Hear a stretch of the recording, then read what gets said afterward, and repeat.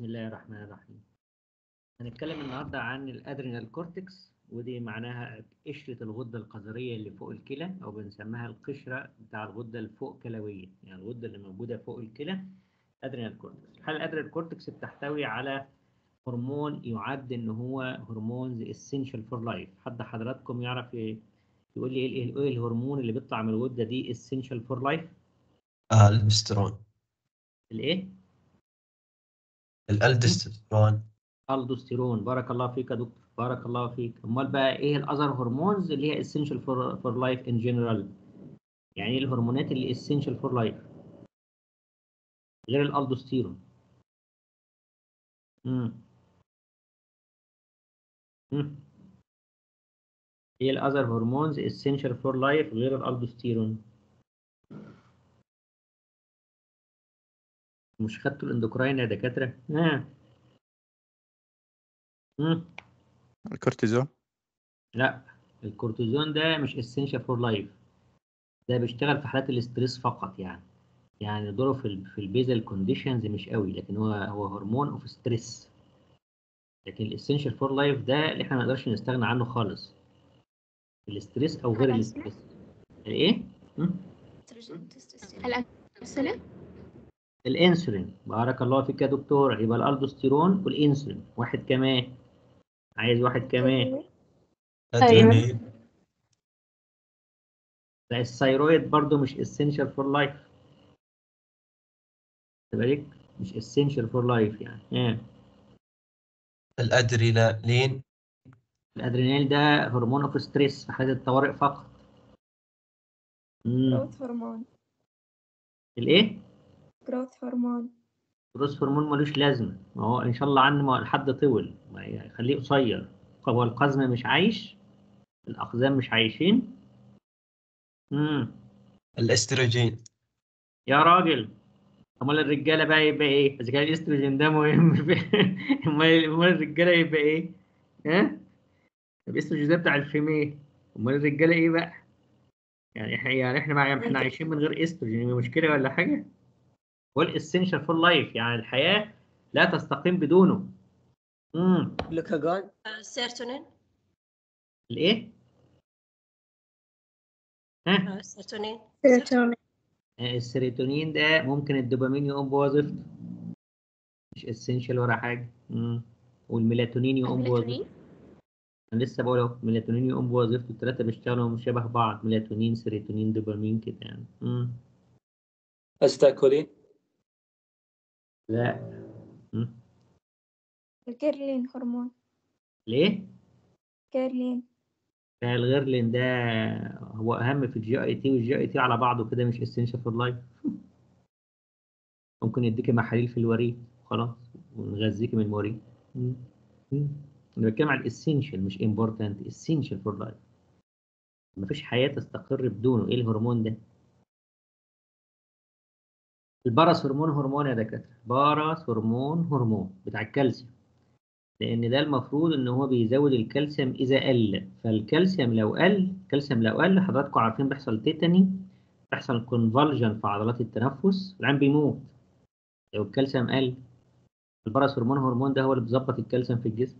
يبقى هرمون هرمون essential for life يبقى هرمون الانسولين الالدوستيرون دول الثلاثه الأساسيين essential for life توكلنا على الله. يبقى إحنا النهارده بصدد أحد الهرمونات اللي موجودة في الغدة دي أو الالدوستيرون إلى جانب الهرمونات الأخرى اللي بتفرز من من ال adrenal cortex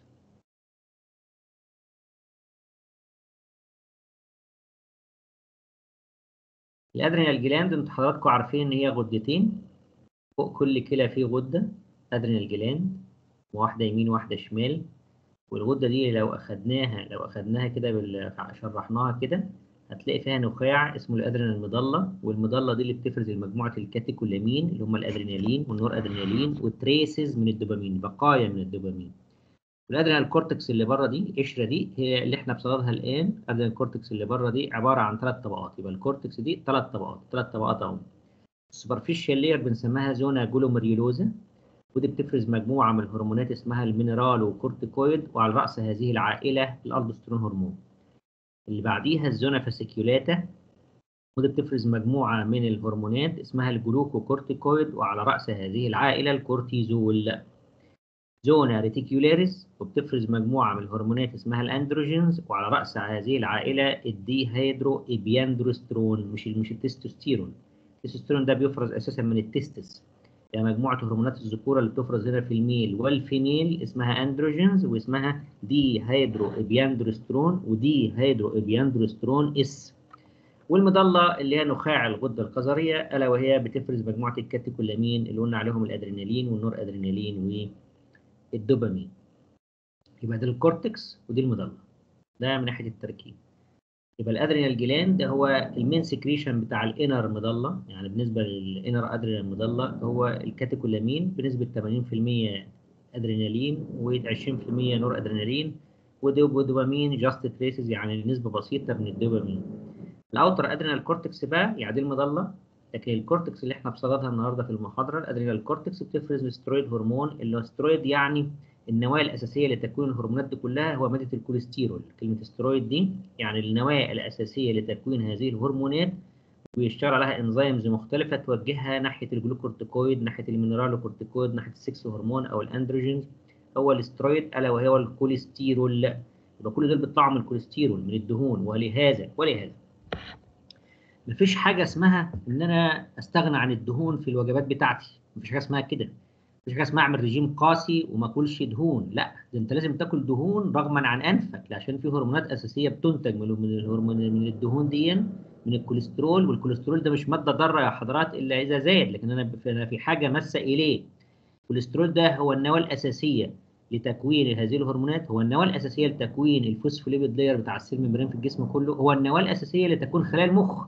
المخ كله معظمه دهون يعني المخ كله lipids وعلى رأسها الكوليسترول يعني الموضوع مش مش مش على إطلاقه كده لا أنا مش هاكل دهون أنا عايز أخس أنا مش عارف أعمل رجيم أنا مش عارف إيه لا. أنت كده بتبوظ الدنيا.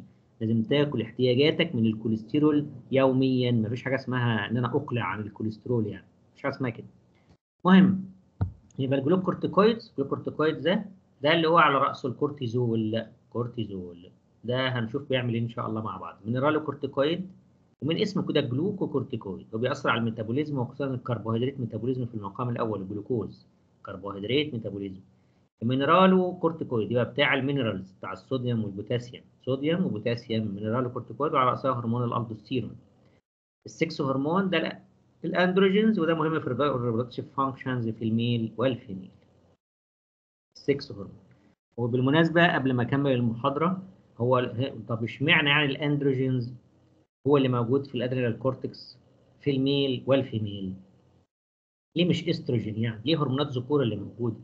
لأن في أصل الخليقة أصل الخليقة يا حضرات أصل الخليقة ربنا خلق حواء من آدم وخلق الإستروجين من الأندروجين. لو لو عرفتوا الكيمياء الكيمياء بتاعت الجسم كلها حتى في ال female حتى في ال ovary. لو حضراتكم متذكرين في ال ovarian cycle والكلام ده كان ال LH بينتج آه من من ال theca cells بتاعت ال ovary. corpus luteum بينتج منها اندروجين ويتحول الاندروجين بال aromatase enzyme إلى استروجين يعني يعني حتى الاستروجين في ال female بيطلع من الاندروجين يعني ال ovary نفسه بينتج اندروجين under the effect of luteinizing hormone والاندروجين يتحول إلى استروجين ودي قاعدة الخلق يا سبحانه وتعالى يعني. هو أصل الخليقة إن حواء خلقت من آدم فكل ما هو أنثى يخلق من كل ما هو ذكر وهكذا. يبقى ده الاستروجين بيطلع من الاندروجين في السلسله التفاعلات الكيميائية فالاندروجين هو الاصل يعني male و female ال adrenal gland هو. هو stress gland stress gland stress gland يعني غده بتشتغل في الطوارئ بالقدر الأعظم. بتشتغل بالقدر الأعظم. ال adrenal gland عامة. ليه بقى؟ فيها هرمون ال cortical hormone على راسها على رأسها الألدوستيرون اللي هو خاص بال stress sorry اللي على رأسها الكورتيزول اللي خاص بال stress وفيها ال medulla اللي فيها ال catecholamine اللي بتواجه ال stress يعني فيها هرمونين خاصين بال stress هرمون موجود في ال cortex ال adrenal cortex ألا وهو ال glucocorticoids وال aldosterone كمان بيشتغل في ال stress بالمناسبة يعني. وال medulla الهرمون اللي في ال medulla اللي هو ال catecholamine. لو شفنا كده ال cortex قلنا فيها zona glomerulosa بتطلع ال mineralocorticoid على راسها الالدوستيرون تاني ال zona fasciculata بتطلع ال glucocorticoid على راسها الكورتيزول. ال zona reticularis بتطلع ال androgen dehydroepiandrosterone ال medulla بتطلع ال catecholamine epinephrine norepinephrine والدوبامين. ده منشأ منشأ الهرمونات أهوت اساسه الكوليسترول. ده أساس الكوليسترول في ال biochemistry في الكيمياء. بص كده الكوليسترول اهوت بسلسلة من التفاعلات اهيت والإنزيم اللي هتشتغل هطلع في النهاية الثلاثه المهمين ادي الألدوستيرون بتاع ال zona glomerulosa وادى الكورتيزول بتاع ال zona fasciculata وادى اللي هو ال dehydroepiandrosterone اللي هو ال dehydroepiandrosterone ده بتاع ال zona reticularis وشوفوا حضراتكم ال androstenedione androstenedione ده أندروجين ده أندروجين. ده اندروجين والتستوستيرون ده اندروجين بيتحولوا مهمت إلى estrone و estradiol يبقى هرمونات الأنوثة اهوت ال- ال female ال sex hormone اهم بيطلعوا من ال androgens دول androgens حولوا دول إلى estradiol و estrone هذا ال- ال diagram اللي بيوضح لي منشأ هذه الهرمونات الثلاثة أصلهم ال steroid، ال steroid هو ده، فعشان كده بيطلق على كل دول steroid hormone. هنبتدي بال corticosterone، شوف ال corticosterone عبارة عن synthesized في الثلاثة zones، كلمة corticosterone دي يبقى بيحتوي على موجود في الثلاثة zones يعني في ال... وال precursor بتاع كل ال secreted hormones. يعني ده المادة دي هي ال precursor بتاع كل ال secreted hormones اللي بينتجوا من ال cortex. precursor يعني المادة الرئيسية اللي يعني ال corticosterone أهوت بيتحول إلى إلى إلى ألدوستيرون. ال corticosterone يتحول إلى ألدوستيرون. ال androstenedione ده أحد مشتقات ال corticosterone يتحول إلى تستوستيرون وهكذا. يبقى كله بيتحول إلى ده المشتق الرئيسي. عندنا اثنين mineralocorticoid hormone في ال zona glomerulosa واحد اسمه الألدوستيرون ده على رأس العائلة ده الكبير بتاع عائله ال mineralocorticoid في ال zona glomerulosa والتاني اللي هو deoxycorticosterone deoxycorticosterone. دول بيأثروا على ال mineral ويحافظوا على معدلات الصوديوم والبوتاسيوم ثابته في الجسم. zona fasciculata وال reticularis بيط- بيطلعوا اثنين glucocorticoid hormone على رأسهم هرمون الكورتيزول بنسبة عالية أهوت 95% من إنتاج ال zona fasciculata وال corticosterone، ال corticosterone ده أحد عائلات ال glucocorticoids. بيلعب major role في الجلوكوز من اسمه gluco بتاع ال glucose metabolism.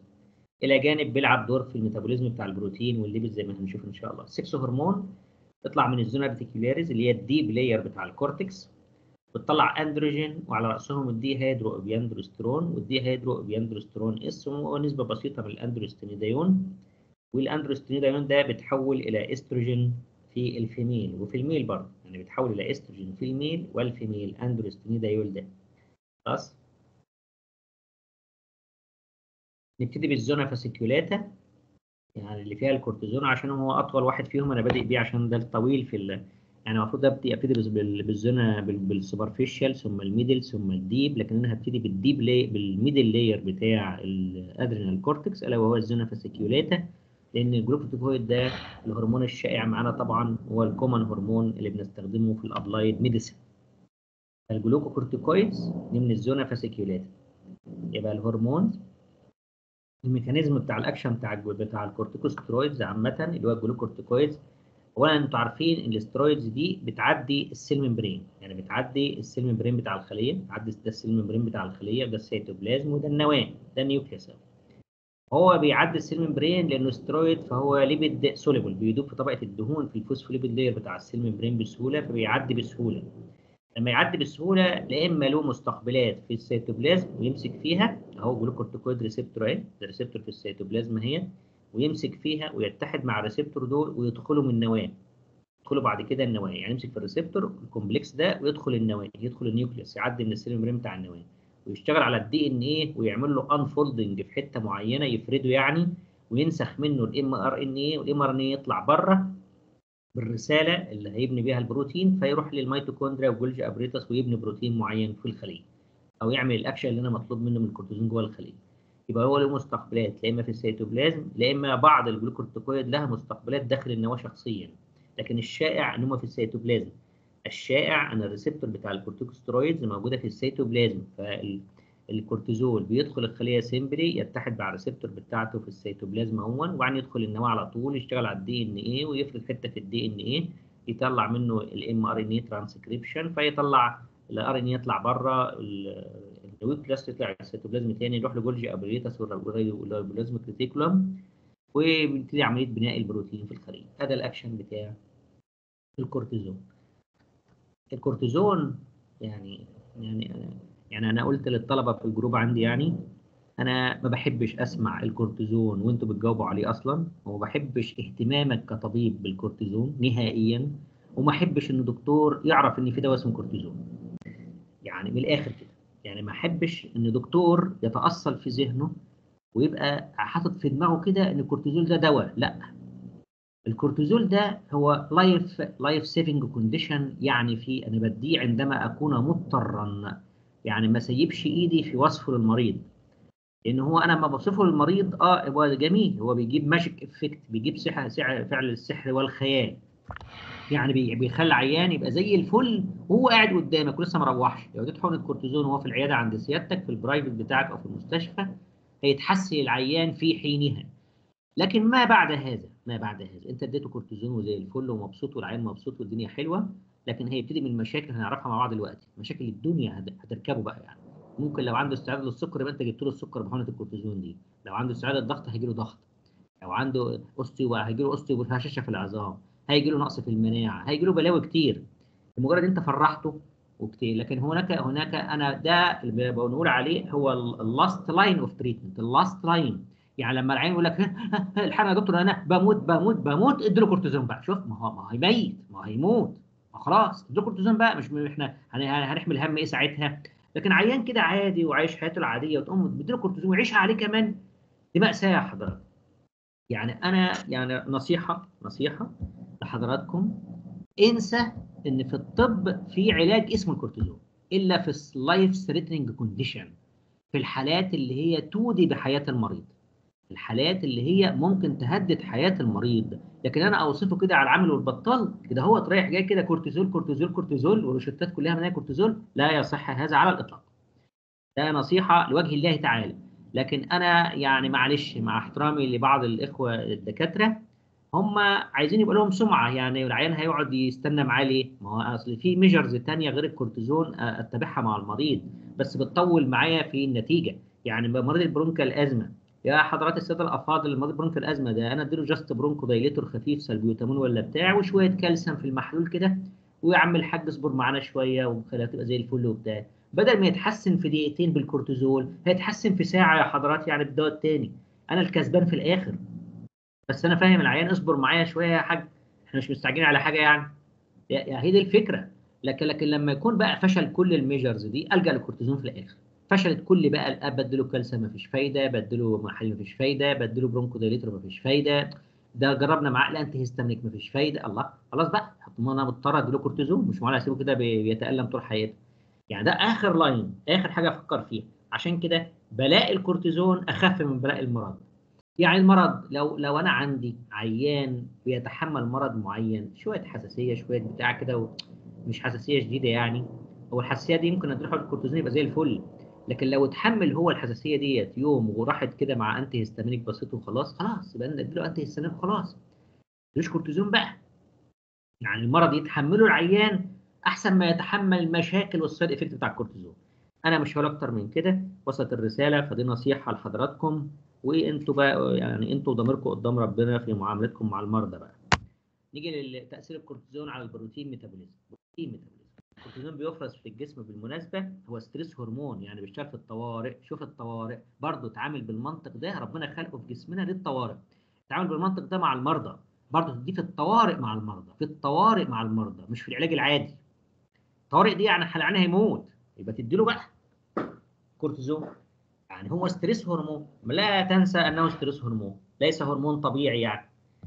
ال protein metabolism بيعمل إيه في البروتين بقى؟ شوف يا سيدي هيكسر لك البروتين في جسمك كله ما عدا ال liver هيكسر البروتين في جسمك كله ما عدا البروتين ده عبارة عن إيه؟ عبارة عن ال cell membrane بتاع الخلايا. عبارة عن ال muscle protein عضلات عضلات حضرتك العضلات نفسها بروتين يعني كل structure في جسمك بروتين هو بيكسر البروتين كله عشان يوفر amino acid acid دي أستخدمها في الأكسدة في حالات الطوارئ عشان أنتج بها طاقة في حالات الطوارئ. يعني بيقول لك في حاجة كده حلوة يعني دي معلومة ظريفة في المل... في. fulminating hepatitis يعني في حالة hepatitis التهاب في الكبد بس التهاب حاد في الكبد وممكن يودي بالكبد. شوف بقى ممكن يدمر الكبد كله. دي اسمها fulminating hepatitis ادي كورتيزون to save ال liver cell save تحافظ على خلايا الكبد أهو. on the expense of other tissue يعني أنا ممكن أدي كورتيزون هو هيبوظ البروتين في بقية الجسم بس هيخلي ال liver زي الفل خلاص أنا أضحي بالعضلات لكن ال liver ما يضحيش بيه. ممكن أضحي بالعضلات هبنيها بعدين مش مشكلة لكن ما أضحيش بال liver. يعني ممكن أديه في الحالة دي حالة طوارئ آه يا جماعة دي طوارئ طوارئ في المرضى. بديله كورتيزول عشان أحافظ على خلايا الكبد على حساب خلايا البروتين أو البروتين اللي موجود في العضلات في الجسم بقية الجسم يعني. البروتين catabolism في ال bone نتيجة increasing ال osteoclastic activity ده اللي الكورتيزون بينشط ال osteoclastic activity اللي هي ال bone resorption cell بيعمل هشاشة في العظام osteoporosis و osteopenia وزود الكالسيوم mobilization من ال bone وينزله في ال urine. يعني بيطلع الكالسيوم من العظم يعني يخلي العظم هش على الآخر. يبوظ البروتين اللي فيه أهو كسر البروتين اللي في العظم اللي هو ال bone matrix ويشيل الكالسيوم من العظم وينزله في ال urine. ده, ده مأساة. يعني العيان هيعيا يجي له bone fracture لوحده. على الكربوهيدرات بقى الكورتيزون على الكربوهيدرات. طبعا هو بيزود معدلات السكر في الدم جلوكوز عن طريق عملية أساسية اسمها gluconeogenesis وده في حالات الطوارئ برضه إنه بيحول ال non-carbohydrate زي ال glycerol وال lactic acid وال propionyl coenzyme A والكلام ده إلى جلوكوز. ده بيحصل داخل ال liver. بين الوجبات أثناء ال fasting اللي أنت ما بتاكلش ما بين الوجبات مفيش أكل مفيش nutrient ومفيش حاجة بتمتص تروح الدم. ال glycogen ال glycogen اللي موجود في ال liver under the effect of كورتيزون بعملية ال glycogenolysis بتكسر عشان يوفر جلوكوز في الحالة اللي انت ما بتاكلش فيها في الأوقات اللي ما بتاكلش فيها يعني بين الوجبات. ده أهميته برضو الطبيعية في جسم الطبيعية. ال fat metabolism هو بيحرك ال- ال- الدهون من ال adipose tissue من المخازن بتاعتها ويقلل ال hepatic lipogenesis. هو أصلا الهرمون الوحيد اللي بيساعد ال lipogenesis في الجسم هو الإنسولين وال somatomedins. هم دول اللي بيزودوا ال lipogenesis غير كده أي هرمون تاني بيعمل lipolysis بيكسر الدهون في الجسم. منهم الكورتيزول. الكورتيزول بيكسر الدهون فينتج كمية كبيرة من ال free fatty acids وال ketone bodies اللي أنا بستخدمها كمصدر للطاقة في الطوارئ. أنا كل شوية الطوارئ أهو. يعني المصدر الرئيسي اللي وإحنا في الأثناء ال rest وفي مزاجنا حلو وما عندناش مشكلة طوارئ ولا بتاع هو الجلوكوز. لكن أنا الجلوكوز مش هيكفيني في الطوارئ فبضطر أكسر الدهون وأكسر البروتين عشان أطلع amino acid و fatty acid و ketone bodies كمصدر للطاقة. ال ketone bodies بالمناسبة هو المصدر الرئيسي للطاقة للمخ أثناء الطوارئ، ليه المخ؟ شخصيا ال brain اللي أثناء الطوارئ، بقول أثناء الطوارئ وفي ال stress، لكن المصدر الرئيسي للطاقة للمخ في الأمور العادية هو الجلوكوز. permissive action ده أكشن تاني للكورتيزول، غير إن هو يشتغل على ال metabolism. طب إيه permissive action؟ إن هو بيساعد هرمونات تانية عشان يؤدي وظيفة، بيساعد مين؟ بيساعد ال catecholamine وال glucagon في عملية ال gluconeogenesis. بيساعد ال catecholamine وال growth hormone في عملية ال lipolysis. يعني هو مهم وجوده عشان دول يشتغلوا عشان يعملوا كده. وعشان دول يشتغلوا ويعملوا كده مهم الكورتيزون تواجده اسمه permissive action بيساعد هرمونات أخرى. ومهم أنتوا عارفين إن ال catecholamine بيعمل vasoconstriction في غياب الكورتيزون ال catecholamine ما بيعملش vasoconstriction ال catecholamine ما بيعملش vasoconstriction ودي تجربة عملناها إن إحنا جبنا بتاع محلول وحطينا فيه catecholamine على ال blood vessels ما عملش حاجة حطينا كورتيزول عمل severe vasoconstriction يعني في وجود الكورتيزون ال catecholamine بيعمل vasoconstriction وفي مقولة شائعة بيقول لك إن الك- الكورتيزون بيعمل vasoconstriction غلط. الكورتيزون ما بيعملش direct vasoconstriction لكن بيعمله من خلال ال catecholamine يعني بينشط ال catecholamine عشان تعمل vasoconstriction اللي هو الأدرينالين والنور أدرينالين. ال catecholamine عشان تعمل bronchodilator محتاجة الكورتيزون الطبيعي اللي موجود في جسمنا يعني. وبرده lipolytic effect بتاع ال catecholamine محتاج الكورتيزون. وال vasoconstrictor effect بتاع ال catecholamine محتاج الكورتيزون؟ هذا اسمه ال permissive action إن الكورتيزون مهم للأكشن بتاع هرمونات أخرى ليؤدي أكشن معين. نمرة ثلاثة في الأكشن التأثير على ال water وال electrolyte. هنا بيلعب دور مهم الحقيقة ونعتبره طوارئ برضه. نعتبره طوارئ. إيه الطوارئ؟ إن هو لما واحد يكون عنده جفاف جفاف. هو بيشتغل زي ال ADH hormone ويحبس المية في الجسم يعني بيعمل water retention في حالات الجفاف عشان يحافظ على كمية المية. بيشتغل زي ال ADH hormone ويقلل معدلات خلاص ال- الحاجة الثانية هو لو العيان عنده ال sorry ال- ده ده الاكشن اللي أنا قلته من شوية ده الاكشن هو لو العيان عنده جفاف هيعمل كده هيشتغل زي ال mineralocorticoid ويحبس الصوديوم في الجسم يعني عشان يحافظ على معدلات الجفاف. لو العيان عنده مية زايدة مية زايدة في الجسم هو بيعمل inhibition لل ADH hormone فبينزل المية الزايده دي في ال urine. عشان من من طريق إن هو بيزود ال GFR يبقى الكورتيزون لما يكون في overhydration في الجسم مية زيادة زايدة يعني هيعمل inhibition لل ADH hormone فينزل المية الزايدة. لو عنده dehydration هيشتغل زي الالدوسترون ويحبس الصوديوم في الجسم. ده الاكشن بتاع الكورتيزون سواء المية زادت أو المية قلت بيشتغل dual effect على الناحيتين. على ال local blood على على ال blood cells وال lymphatics بيعمل إيه في الأوعية في خلايا الدم وال lymphatic هو بيزود حاجة بيزود خلايا ويقلل خلايا. يا ترى بيقلل خلايا إيه وبيزود خلايا إيه؟ هو بيقلل خلايا ال eosinophil عشان كده بيعالج الحساسية ال allergy ويقلل ال basophil وبيقلل ال lymphocyte وعشان كده بيودي العيان في داهية في مصيبة. فبيقلل ال lymphocyte فبيقلل جهاز المناعة. فالعيان عرضة ل- للي أنا هقوله لحضراتكم الوقت ده عرضة لل virus infection عرضة لل TB tuberculosis عرضة لل cancer. cancer يبقى الكورتيزون من الأثار الجانبيه بتاعته يؤدي إلى cancer لأنه بيقلل المناعه ال lymphocyte دي هي اللي خاصة بمهاجمة الخلايا السرطانية. بيزود إيه بقى؟ neutrophil كويس. مش عيب. ده ال first defense mechanism في الجسم لكن دي أبوهم. ده الكبير. ال lymphocyte دي الكبيرة. دي أهم من ال neutrophil لأن دي ممكن تقوم بوظيفة ال neutrophil ال macrophage مش مشكلة. ال platelets بيزود ال platelet يعمل جلطة. جلطة thrombosis و embolism بيزود ال RBCs يعمل polycythemia وال polycythemia مشاكلها كتير الحقيقة. بتزود اللزوجه في الدم وتقلل ال blood flow وتعمل cyanosis في العيان عين بيزرق ومشاكل كتير الحقيقة في ال polycythemia يعني مش أنا هفرح بإن أنا بزود كرات الدم الحمراء ال lymphopenia اللي هي نقص ال lymphocyte دي ده نتيجة inhibition في ال lymphocyte proliferation في ال lymph node وال thymus يعني إيه كلمة بيزود الزايدين؟ هو طبيعي أصلا إحنا عندنا في صورة الدم الطبيعية عندنا ال neutrophil هي أعلى أعلى وال neutrophil وال platelet وال RBCs هم دول هم دول الكتار أصلا في صوره الدم ودول قليلين دول أصلا قليلين ده ال basophil دي zero zero وال eosinophil دي 5% ولا بتاع وال lymphocyte دي 10% يعني كل دول قليلين في مكونات الدم لكن دول كتير هو بيزود اللي زايد يعني دول زايدين أصلا فهو بيزودهم أكتر من أكتر مما هم موجودين عليه ويقلل القليلين يزود الزايدين ويقلل القليلين هذا ال effect على ال nervous system هو بيعمل irritability و change في ال personality و inability to concentrate بيقلل التركيز. وهو لو زاد على فكرة بيعمل mania يؤدي إلى الجنون. لو زاد تركيزه الدم بيعمل جنون. يعني بيبقى خلاص يعني بيفوت. ال appetite على الشهية هو بيفتح الشهية عن طريق إن هو بيزود إنتاج ما يسمى ال orexigenic agent اللي هم بيفتحوا الشهية اللي هو ال neuropeptide Y وال corticotropin releasing hormone دول بيفتحوا الشهية. فهو بيزود إنتاجهم فبيفتح الشهية عند العيان. بيقلل ال appetite إن هو بيزود الليبتين. يعني بيزود ده ويقلل ده. يعني هو لو اداناه ال appetite يعني ممكن يزودها كده ويزود كده. لكن which of which is predominant حسب إنتاج مين؟ دول الكتير. يعني ده اللي كتير ولا ده اللي كتير؟ الليبتين هو اللي كتير ولا ده؟ وهو بيعمل ال two effect زي تأثيره على المية بالظبط في ال over hydration وال dehydration له تأثير على ال appetite برضه دول effect مختلف حسب إنتاجه للمواد دي. اللي هيزيد أكتر هو اللي هيبقى تأثيره سائد modulate ال excitability. يعني ال excitability اللي هو وال behavior وال mood هو أنت أول ما تاخده أول ما تاخده العيان بيحس ب euphoria وآخر حلاوة ومزاجه طالع طلع في السحاب يا سلام ده أنا أجدع راجل في العالم ده أنا أجدع أنا أحسن ست في العالم. يعني تحس كده بالثقة في النفس كده أول ما ياخد كورتيزون ولو عيان حتى وبيموت يقول لك الله أنا زي الفل يا دكتور. وهو بيموت أصلا لو ما ياخد كورتيزون لكن أنا زي الفل يا دكتور ده أنا ده أنا ده أنا أنا طاير في السحاب يا دكتور. ال euphoria ده الإحساس بالانتعاش المهم لكن بتقلب بعد كده بقى تقلب بعد كده اللي أنا قلت لحضراتكم عليها مع ال chronic use مع ال toxicity بتاع الكورتيزون بيؤدي إلى الجنون بقى. يعني هو الأول بمزاجه حلو اهوت بعد كده بيفوت.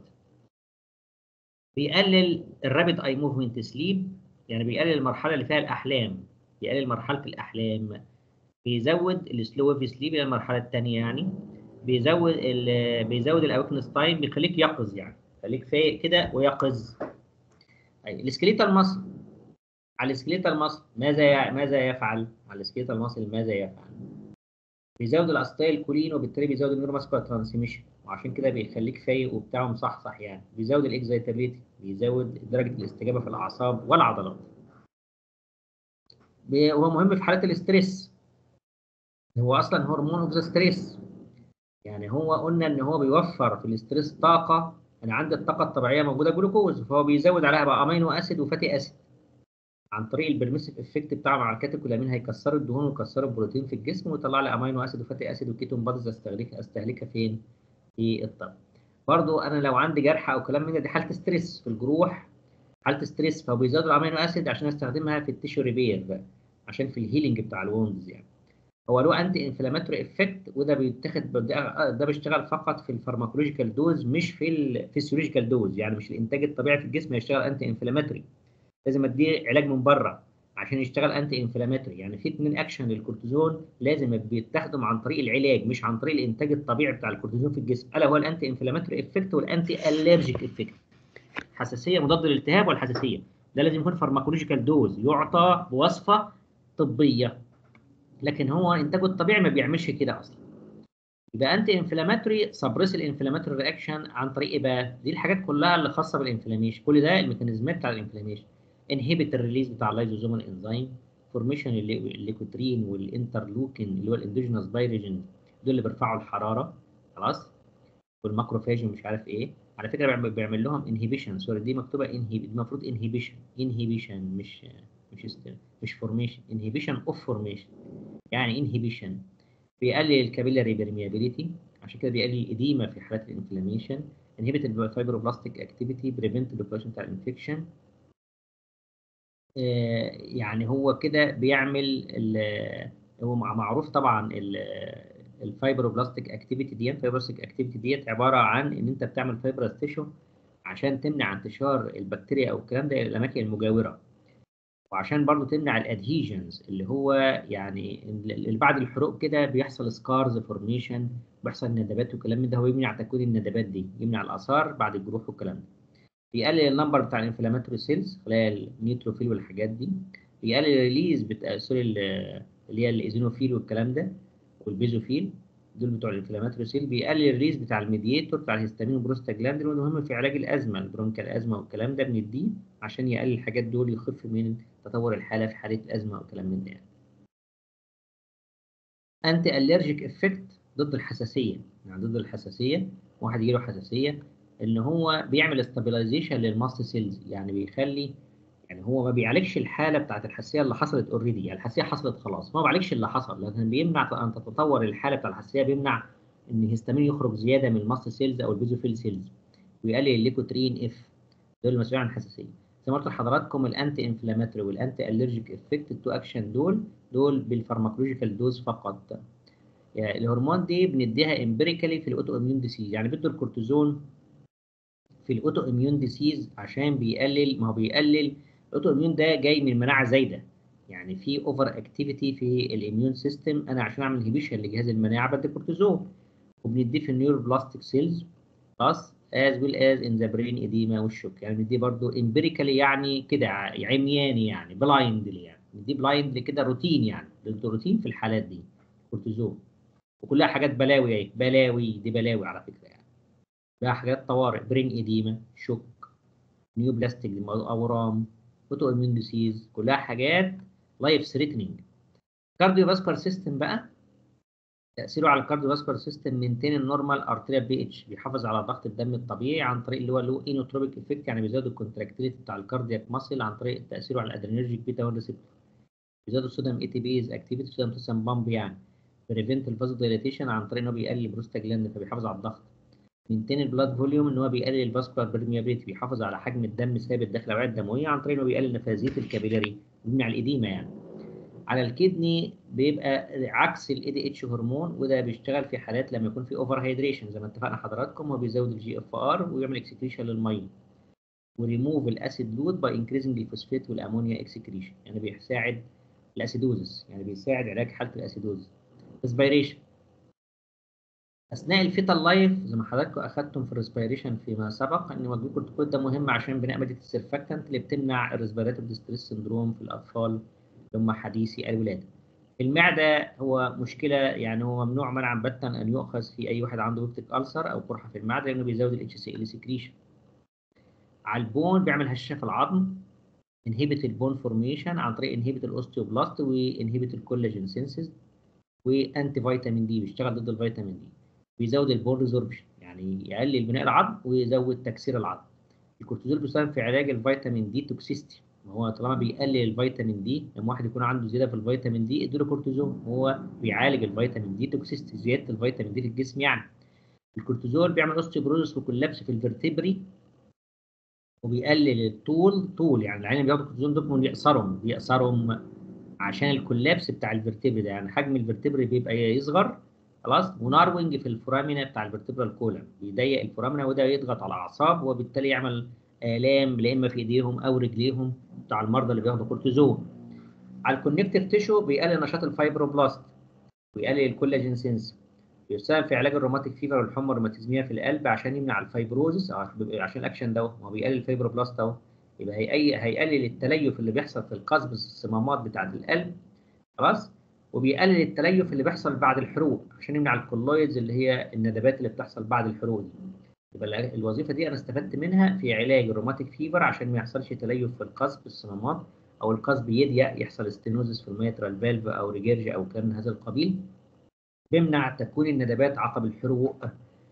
ما بيستخدمش في ال TB لأن تبقى مصيبة. لو اديته في ال TB هيحصل flare up flare up يعني هتترعرع ال myco mycobacterium اللي هي بتاع الميكروب اللي بيسبب ال TB mycobacterium bacilli والمرض مرض ال TB هيزيد يعني هيزيد وممكن يموت العيان. بنسميه miliary TB miliary TB يعني generalized TB في الجسم كله مش خاصة بال lung بس يبقى الجسم كله هيبقى فيه مرض الدرن ده في الجسم كله. miliary يعني generalized TB أو systemic بيأثر على كل ال organs وكل ال systems في الجسم كلها لو أنت اديت كورتيزون هيترعرع ويتشعشع ويحصل له flare up هيهيج في الجسم كله يعني لو أنت اديت عندك كورتيزون لأن معروف إن ال TB اللي بيهاجمه هي خلايا التيلينفوسايت والكورتيزون بيقلل التيلينفوسايت يبقى أنت قللت المناعة اللي بتهاجم ال TB فاستلم بقى اللي هيحصل للمريض ربنا يستر. نيجي لل immunity وال lymphoid. قلنا بيدمر المناعة. قلنا الكلام ده هو بيقلل lymphocyte اهوت بيقللها وبالتالي يقلل ال humoral immunity ويقلل إنتاج ال antibody immunoglobulin formation immunoglobulin formation بيقلل ال T lymphocyte وبالتالي يقلل ال cellular immunity وخصوصا ال T helper cells يعني يشتغل يا جماعة الكورتيزون ده من الآخر كده طالما بيقلل نشاط ال T helper يعني زي مرضى الايدز مرضى الايدز يعني زي ال HIV فيروس يعني تبقى مصيبة يعني أكنك جبت المريض ايدز بالظبط. يعني أنت متخيل إن أنت تجيب له عيان ايدز يعني انت ما هو هيبقى عرضة للإيدز كمان. يعني انت بتقلل مناعه التلم المناعة عنده فهيبقى عرضة للإيدز وعرضة لل TB وعرضة لل cancer ومشاكل. هيقلل ال interferon formation بتاعت الفيروس. الانترفيرون ده اللي بيهاجم الفيروسات في الجسم. فكونك تدي كورتيزون فيقلل الانترفيرون. في الليمفوما في السرطان melt ال lymphoid tissue مفيد في علاج السرطان نفسه. مش يعني هو أصلا بيساعد في السرطان. لأن انت تديه السرطان حصل فعلا. السرطان حصل already فهو بيدوب الخلايا السرطانية كده بيدوبها لكن هي أنت ما منعتهاش. أنت بس بتحد من نشاط الخلايا السرطانية في القصة ديت عن طريق local effect بتاعه مش عن طريق شغله على المناعة.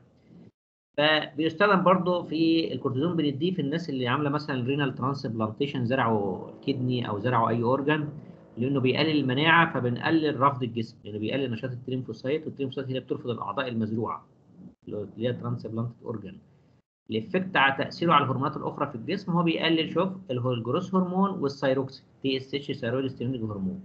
يعني هو بيقلل الاثنين دول. بيعمل inhibition لل thyrox انتاج الثايروكسين الكورتيزول أهوت بيقلل إنتاج ال TRH hormone وبالتالي إنتاج ال TSH hormone وبالتالي بيقلل إنتاج ال T 3 وال T 4 من ال thyroid gland ودي مشكلة الحقيقة طبعا يعني.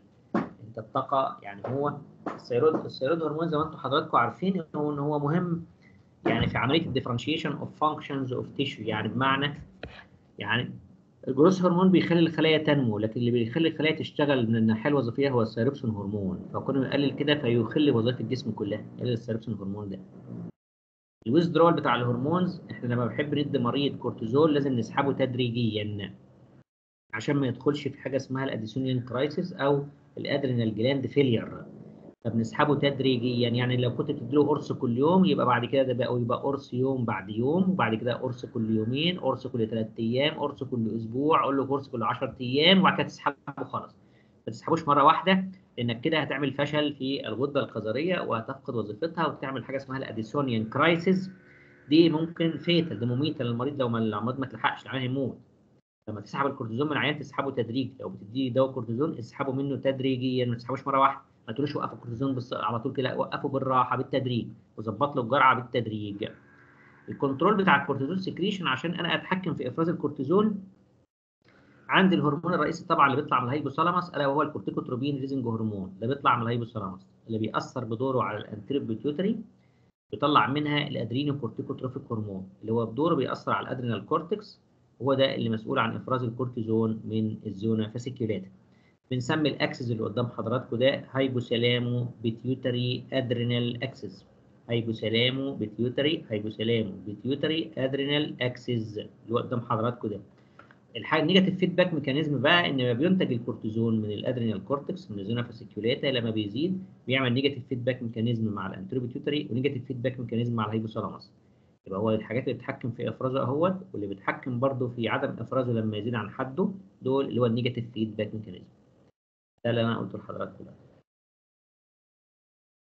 في عوامل أخرى بتتحكم في إفراز الكورتيزول في الجسم غير ال feedback وغير الهرمون بتاع ال hypothalamus diurnal rhythm أنا عندي اللي بيتحكم في أي حاجة لها circadian rhythm يعني تغير في الإفراز اليومي يعني تلاقي الساعة البيولوجية بتاعت الجسم يعني ده بيتحكم فيها نواة chiasmatic nucleus ال hypothalamus النواة دي اللي بتتحكم في ال diurnal variation بتاع أي حاجة في جسمنا معدلات النوم واليقظة درجة الحرارة بتختلف الصبح عن بالليل ضغط الدم بيختلف الصبح عن بالليل ضربات القلب تختلف قطر الشعب الهوائية بيختلف الصبح عن بالليل. اذا هناك حاجات في جسمي بتخضع لل diurnal variation التغير اليومي في الحاجات دي.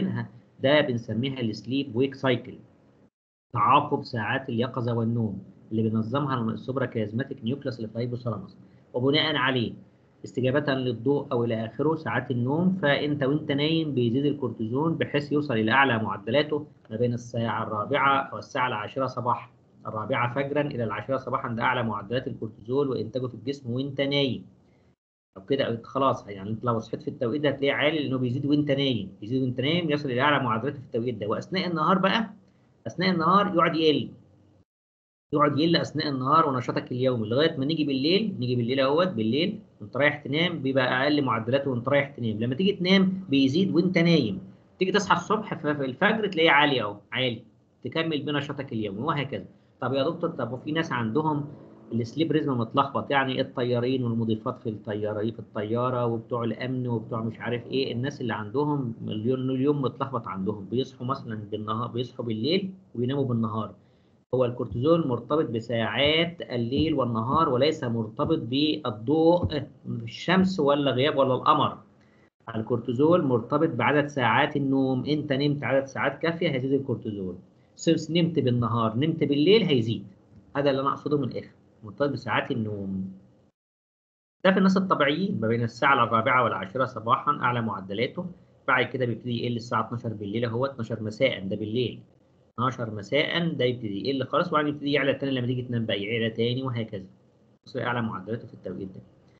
ال stress والكورتيزول. كل حالات ال stress ال stress سواء كان ال fear أو ال- ال test anxiety اللي هو بتاع الاختبارات القلق والتوتر بتاع الامتحانات وال cognitive ايديشن والحاجات المعرفية والكلام ده. avoidance behavior خلاص يعني اللي هو الناس المنعزلين والكلام ده ال memory impairment الذاكرة بتبقى ضعيفة والكلام ده الحاجات دي كلها حالات stress stress condition ال condition دي بتأثر على مين؟ بتأثر على ال- ال hypothalamus تفرز آه، hypothala اللي هو اللي هو ال corticotropin releasing hormone اللي يروح يأثر على ال pituitary عشان تفرز adrenocorticotrophic hormone اللي يروح يأثر على ال cortex عشان تفرز كورتيزول كورتيزول عشان يواجه الحالات دي يظبط الحالات دي آه، طبعا من حالات ال stress برضه physical زي ال exercise ال emotion زي قلنا ال fear إلى آخره ال hypoglycemia دي حالة stress ال hypoxia and so on تأثر على ال hypothalamus تفرز ال CRH هيأثر على ال pituitary تفرز ال ACTH يروح يروح لل gland اللي هي ال zona fasciculata يطلع ال glucocorticoid وده بال negative feedback ممكن هيقلل ده ويقلل ده لما يزيد عن حده. وال circadian rhythm طبعا اللي هو التغير اليومي في إنتاج الهرمون زي ما اتفقنا ساعات النوم واليقظة إلى آخره. آه الكورتيزول برضو بيزيد بيزيد. في حاجات بتزوده في الجسم زي السيروتونين 5 hydroxytryptamine وال vasoactive intestinal peptide والفازو بريسين اللي هو ال antidiuretic hormone antidiuretic hormone بيزوده يبقى بيزود بيزيد بالسيروتونين ويزيد بال VIP ويزيد بالفازو بريسين. ودول كلهم بيعملوا مين؟ vasoconstriction دول لما بيزيدوا بيعملوا vasoconstriction. بيزيد برضه بالكافيين القهوة بتزوده. ال viral infection عشان هو ال defense mechanism بتاع الفيروس. ال- يعني ال viral infection دي بتزود الكورتيزول. بتزود الكورتيزول وتبقى ندخل في cycle نهايتها العيان بيتدمر يعني. يعني الفيروس infection دي هتزود الكورتيزول فالكورتيزول يقلل ال lymphocyte فال lymphocyte ما تعرفش تدافع عن الفيروس فالفيروس يترعرع في الجسم وتزيد الحالة سوءا.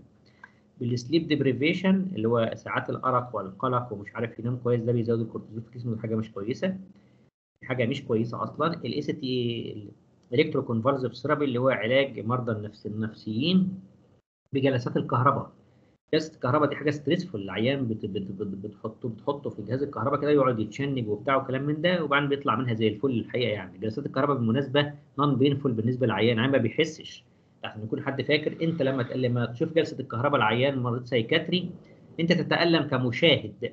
لكن المريض نفسه ما بيحسش بالجلسة دي ويفوق من بعدها زي الفل يقول لك يا سلام أنا كنت فين؟ أنا زي الفل. ال dying patient برضه بيزود الكورتيزول ده حتى stress طبعا dying واحد بيموت بيحتضر ال disorders بتاع ال cortex بقى. إحنا عندنا adrenal cortex اللي إحنا قلنا هي بتفرز مجموعة من الهرمونات mineralocorticoid وبتفرز glucocorticoid و androgens لل cortex لكن ال medulla بتطلع ال catecholamine تطلع ال catecholamine ال medulla بتطلع ال catecholamine لكن ال cortex بتطلع الثلاثه دول. فلما يكون في hyperfunction يبقى الثلاثه دول هيزيد نشاطهم زي إيه بقى؟ zona fascicu zona glomerulosa لما يحصل hyperfunction في ال cortex يبقى في hyperaldosteronism يعني زيادة إفراز الالدوسترون ويزيد تأثيره بقى. zona fasciculata بيعمل Cushing disease دي بتعمل Cushing disease.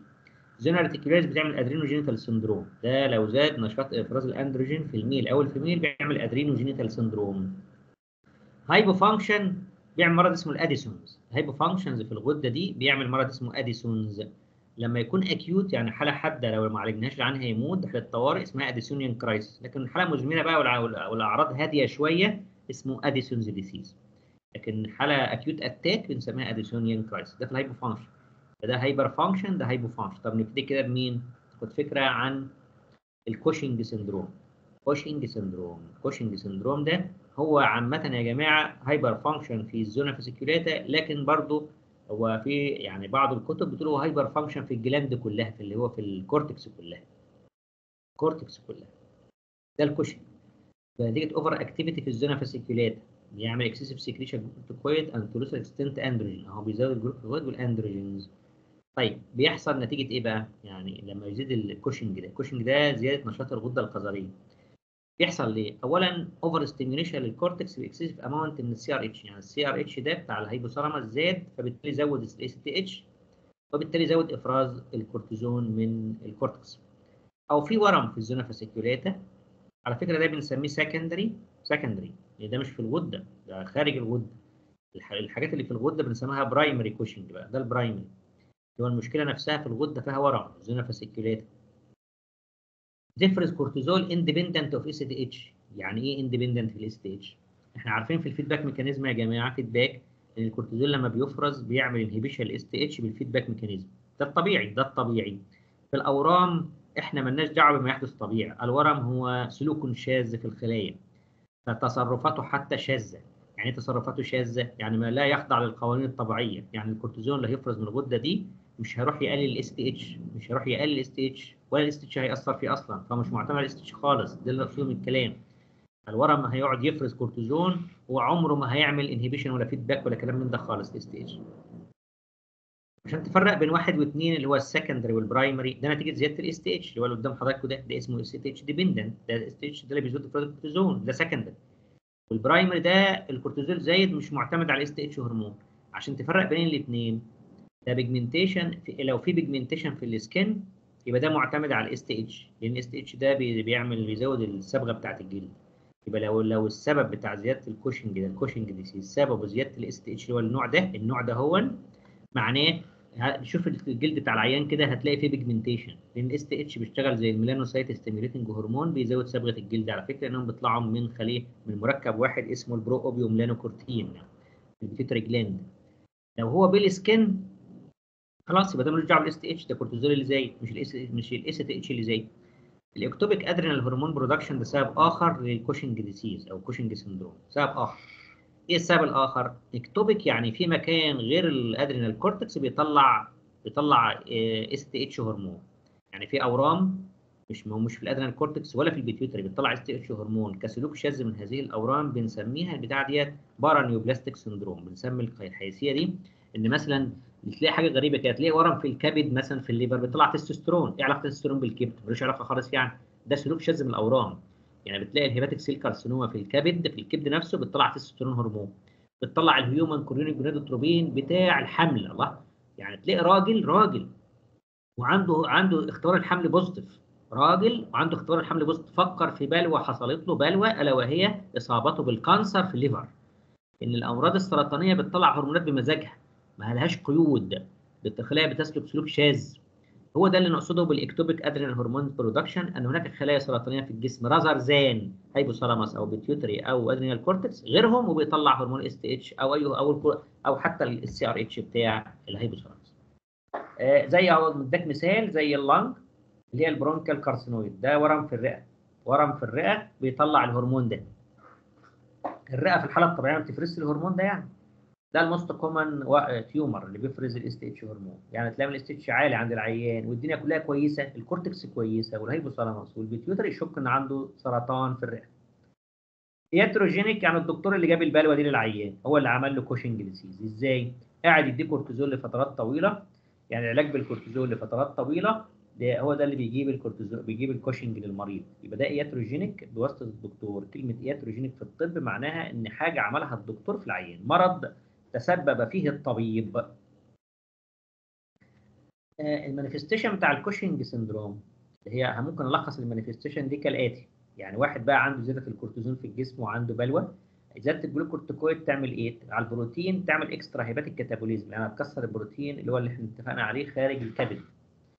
على ال fat بتعمل central و truncal obesity حتى بيسموه buffalo hump يعني بتلاقي المريض عامله عنده كده بروز في ظهره كده في ال interscapular region بروز من الدهون والبروز من الدهون ده بيبقى شبه الجاموسة كده شبه السنام بتاع الجمل كده أو الجاموسة فبيسموه buffalo hump بيعاد توزيع الدهون في الجسم. هنشوف صورة دلوقتي لهذا الموضوع. الكربوهيدرات بيعمل سكر طبعا يعمل diabetes mellitus بنسميه في الحالة ديت steroid diabetes steroid diabetes steroid diabetes على ال mineralocorticoids يعني هو لو إحنا اتفقنا إن الكوشنج زيادة في نشاط ال cortex كلها في كورتيزون هيزيد الألدوسترون هيزيد يعمل hypertension ارتفاع في الضغط في 85% من الحالات بتاع الكوشنج.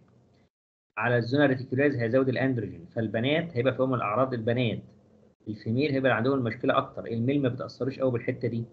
ان هم أصلا ال- ال male عندهم شعر كتير كثيف في جسمهم مش ما بتفرقش. لكن البنات بيبقى عليهم التأثير ده واضح. بيبقى البنات عندهم إيه بقى hirsutism يعني زيادة توزيع الشعر في جسمهم في الأماكن حتى اللي ما بيبقاش فيها شعر بصورة طبيعية.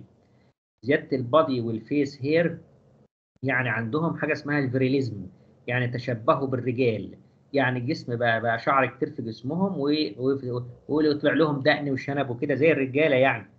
acne اللي هي حبوب الشباب بيطلع حبوب شباب. حبوب الشباب دي على فكرة هو نتيجة زيادة ال androgens. زيادة الأندروجين سواء في الولد أو في البنت. حبوب الشباب دي نتيجة الأندروجين هرمونات الذكورة زايدة في البنت يجي لها acne حب شباب.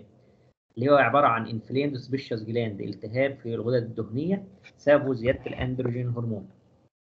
زيادة ال susceptibility لل infection عشان ما فيش مناعة يبقى عرضة بقى ل أي أي حاجة عشان المناعة ال immune system حصل له depression ال blood change في mild polycythemia ودي مشاكلها كتيرة إن شاء الله. بلوى دي لوحدها. وال lymphopenia نقص نقص ال lymphocyte ودي تقلل المناعة.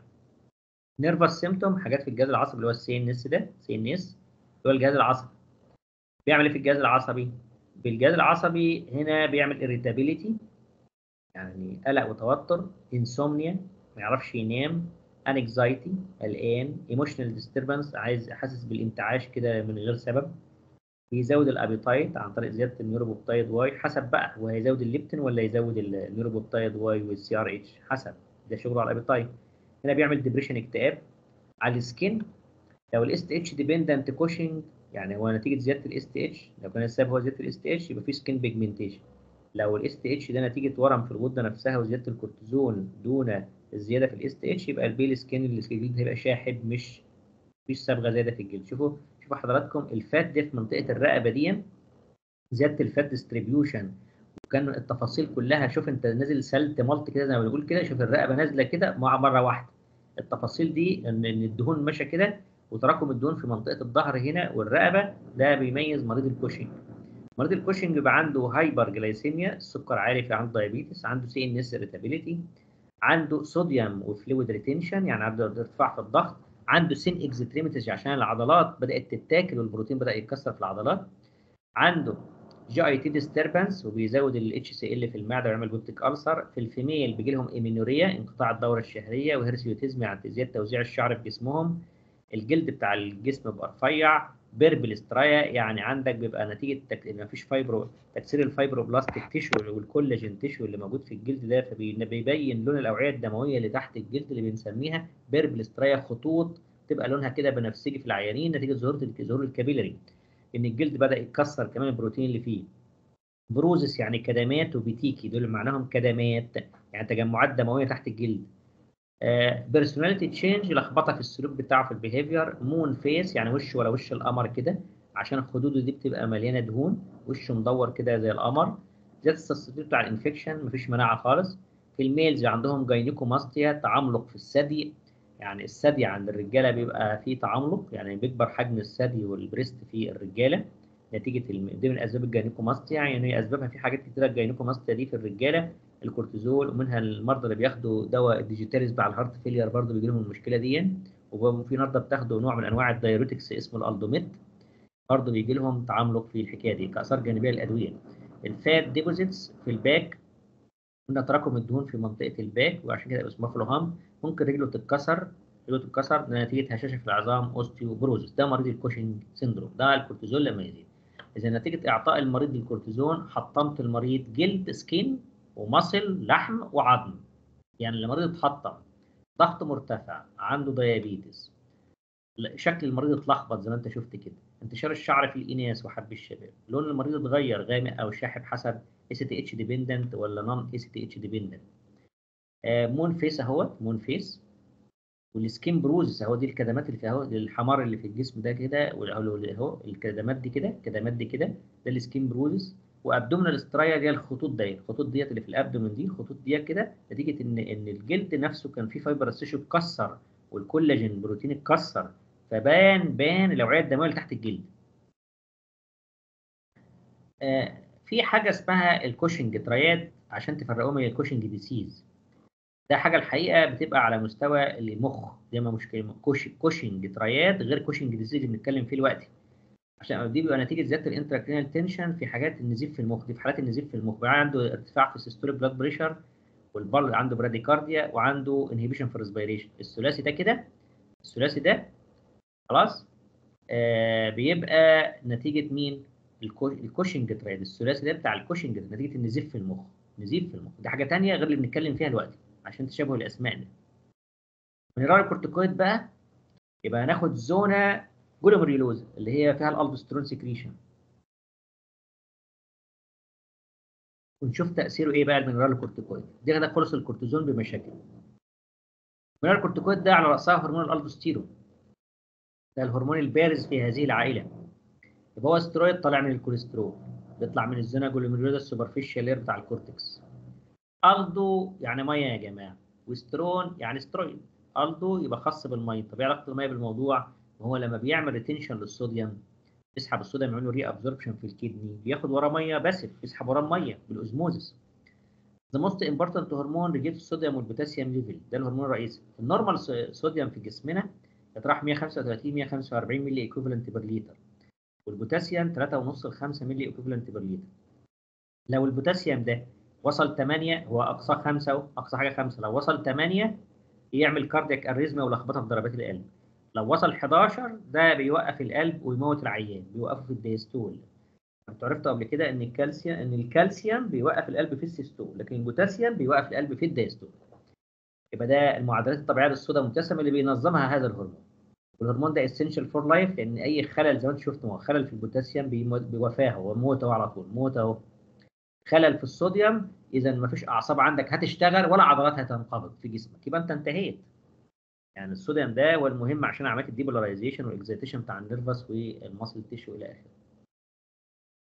الالدوسترون بيشتغل بين بقى في ال kidney دي ال nephron فال target tissue بتاعه الرئيسي هي ال distal tubules distal وال collecting duct يعني الاكشن الرئيسي بتاع الالدوسترون بيشتغل على ال distal tubules وال connecting duct distal وال collecting duct فبيعمل sodium retention و potassium secretion و hydrogen secretion يبقى sodium retention و potassium secretion و hydrogen secretion و water retention ده الاكشن الإجمالي بتاع الالدوسترون الاكشن بتاع الالدوسترون على ال kidney على ال kidney. بيزود ال sodium reabsorption في ال distal part بتاع النفرون عند ال luminal border نجيب الصورة أحسن ونشوف بيعمل إيه. الأكشن ده نشرحه على الصورة بس أنا قبل ما أخلص الأكشن ده ده على ال kidney وهشرحه دلوقتي. لكن هو بيشتغل في أماكن أخرى في الجسم على السويت جلاند وعلى السليفري جلاند وعلى الانتستينال ميوكوزا وعلى الديستال كولون بيعمل برضو reabsorption للصوديوم نفس ال action secretion البوتاسيوم والهيدروجين في الأماكن دي. خلاص؟ يبقى هو بيعمل نفس الأكشن في الأماكن دي أخرى ال sweat gland وال salivary gland وال intestine. لكن بيعمل إيه في ال kidney بقى؟ الاكشن الرئيسي بتاعه بتاعه في ال kidney نشوف كده. في ال kidney هو بيعمل الآتي أهو. ألدوسترون هو هرمون ينتمي إلى عائله ال steroid hormones. يعني هو cholesterol in nature فبيعدي في طبقه الدهون بسهولة يجي من الدم ويفرز من ال cortex يمشي في الدم يعدي. دي بالنسبة لل kidney ده ال peritubular capillary وده ال renal tubular cells وده ال lumen بتاع ال renal tubules kidney nephron الدوسترون بيعدي من ال basolateral border اللي هو ال capillary border ده يعدي بسهولة يمسك في ال receptor بتاعته في السيتوبلازم اللي حضرتك شايفينه أهو لما يمسك في ال receptor في السيتوبلازم بيعمل إيه بقى في ال receptor في السيتوبلازم؟ طبعا هيدخل هياخد ال receptor دي ويدخلهم في ال nucleus ولما يروح لل nucleus هي هيصنع بروتين معين. هي- هيبني هيبني ال messenger RNA من ال DNA وبعدين يطلع ال messenger RNA ده يروح للسيتوبلازم تاني ويروح لل Golgi apparatus وال endoplasmic reticulum خلاص وعشان يعمل آه، البروتين يصنع بروتين معين. البروتين اللي هيتصنع بقى اللي هو اللي هو بنسميه اللي هو protein induced aldosterone يعني البروتين اللي اتصنع تحت تأثير الالدوسترون هيعمل إيه بقى البروتين؟ بصوا حضراتكم بقى. البروتين بينشط ال sodium potassium pump على ال basolateral border على ال basolateral فلما يعمل كده هيسحب الصوديوم ويعمل secretion بوتاسيوم يبقى نشط ال sodium potassium pump على ال basolateral border بتاع الخلية هنا كده. هناخد الصوديوم نوديه الدم ونجيب البوتاسيوم مكانه.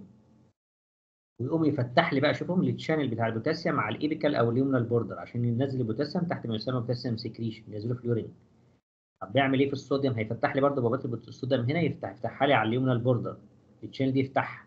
الالدوسترون عمل ال pump هنا نشطها primary active transport نشط هنا فتح ال channel بتاع الصوديوم فتح ال channel بتاع البوتاسيوم فتح ال channel ال aquaporins بتاع المية. المية ودخلت المية هنا. هو الالدوسترون اللي عمل دي خلي بال حضرتك الالدوسترون عمل دي. وبعدين يكمل المشوار معاه بقى الاي دي اتش الاي دي اتش يسحب المية اللي دخلت دي يوديها الدم. ال ADH ده ياخد المية دي يوديها الدم على طول. لكن الالدوسترون ساهم في هذه العملية لأن المية بتتسحب ورا الصوديوم ده. الصوديوم ده هو ماشي كده ياخد وراه مية كده بال osmosis. طيب أكشن آخر هو له hydrogen pump أو hydrogen ATPase pump اللي موجودة في ال distal tubules. دي بينشطها عشان يساعد ال hydrogen secretion يعني يساهم في تصليح عمليات ال acidosis ال acidosis. إلى جانب إن هو بينشط ال chloride bicarb exchanger mechanism عند ال basolateral border عشان برضه يصلح ال acidosis. يعني أنت هتاخد البايكربونات ديت قلوي توديها الدم وتنزل الهيدروجين ده في الشارع. يبقى كده صلح ال acidosis الالدوسترون إذا الأكشن بتاع الالدوسترون أهوت قدام حضراتكم هيشتغل في ال distal nephron هيشتغل على ال basolateral border هيعمل الآتي. هيشتغل نشط ال sodium potassium pump وهنشط ال chloride bicarb exchanger mechanism على ال apical border بيوبن الصوديوم تشانل أوبن البوتاسيوم تشانل أوبن الاكوابورينز اللي هي الوتر تشانل اكتيفيت الهيدروجين أو ال primary active transport hydrogen pump هذا الاكشن بتاعه على الكبد نشوف ال control بتاع ال aldosterone secretion اللي بيتحكم في إفراز الالدوسترون في الجسم اللي بيتحكم في إفراز الالدوسترون في الجسم كالآتي. يا ترى تفتكروا نقص الصوديوم ولا نقص ال hyperkalemia زيادة البوتاسيوم؟ ولا نقص الصوديوم؟ نقص الصوديوم. أهو hyponatremia ال hyponatremia نقص الصوديوم في الجسم ولا زيادة البوتاسيوم اللي تطلع الألدوسترون؟ دكاترة. نقص الصوديوم؟ ها hyponatremia hyponatremia والله أنا يعني هو أنا معاك ال- ال logic إن هو يبقى كده لكن للأسف مش هو ده الإجابة. يعني أنا هقول لك ليه يا دكتورة. الصوديوم معدله 135 ل 145 في الدم معدله عالي مش كده؟ كتير. عشان يأثر في إفراز الألدوستيرون لازم يقل قوي. يعني لازم يدخل بقى في اللي هو 80 70 عشان يقدر ينشط الغدة تفرز ألدوستيرون. لازم يقل قوي. لكن البوتاسيوم معدله في الدم بسيط من 3 إلى 5 milliequivalent ده البوتاسيوم أي لعب بسيط في البوتاسيوم يطلع الدوستيرون على طول. أي زيادة بسيطة في البوتاسيوم hyperkalemia دي أهي. أي زيادة بسيطة في البوتاسيوم ده يقوم يطلع الدوستيرون على طول. يعني شوفي change 1 milliequivalent بس يعني هو 5 طبيعي بقى 6 يطلع الدوستيرون لكن عشان عشان نقص الصوديوم يطلع الدوسترون ده إحنا محتاجين إن الصوديوم يقل قوي.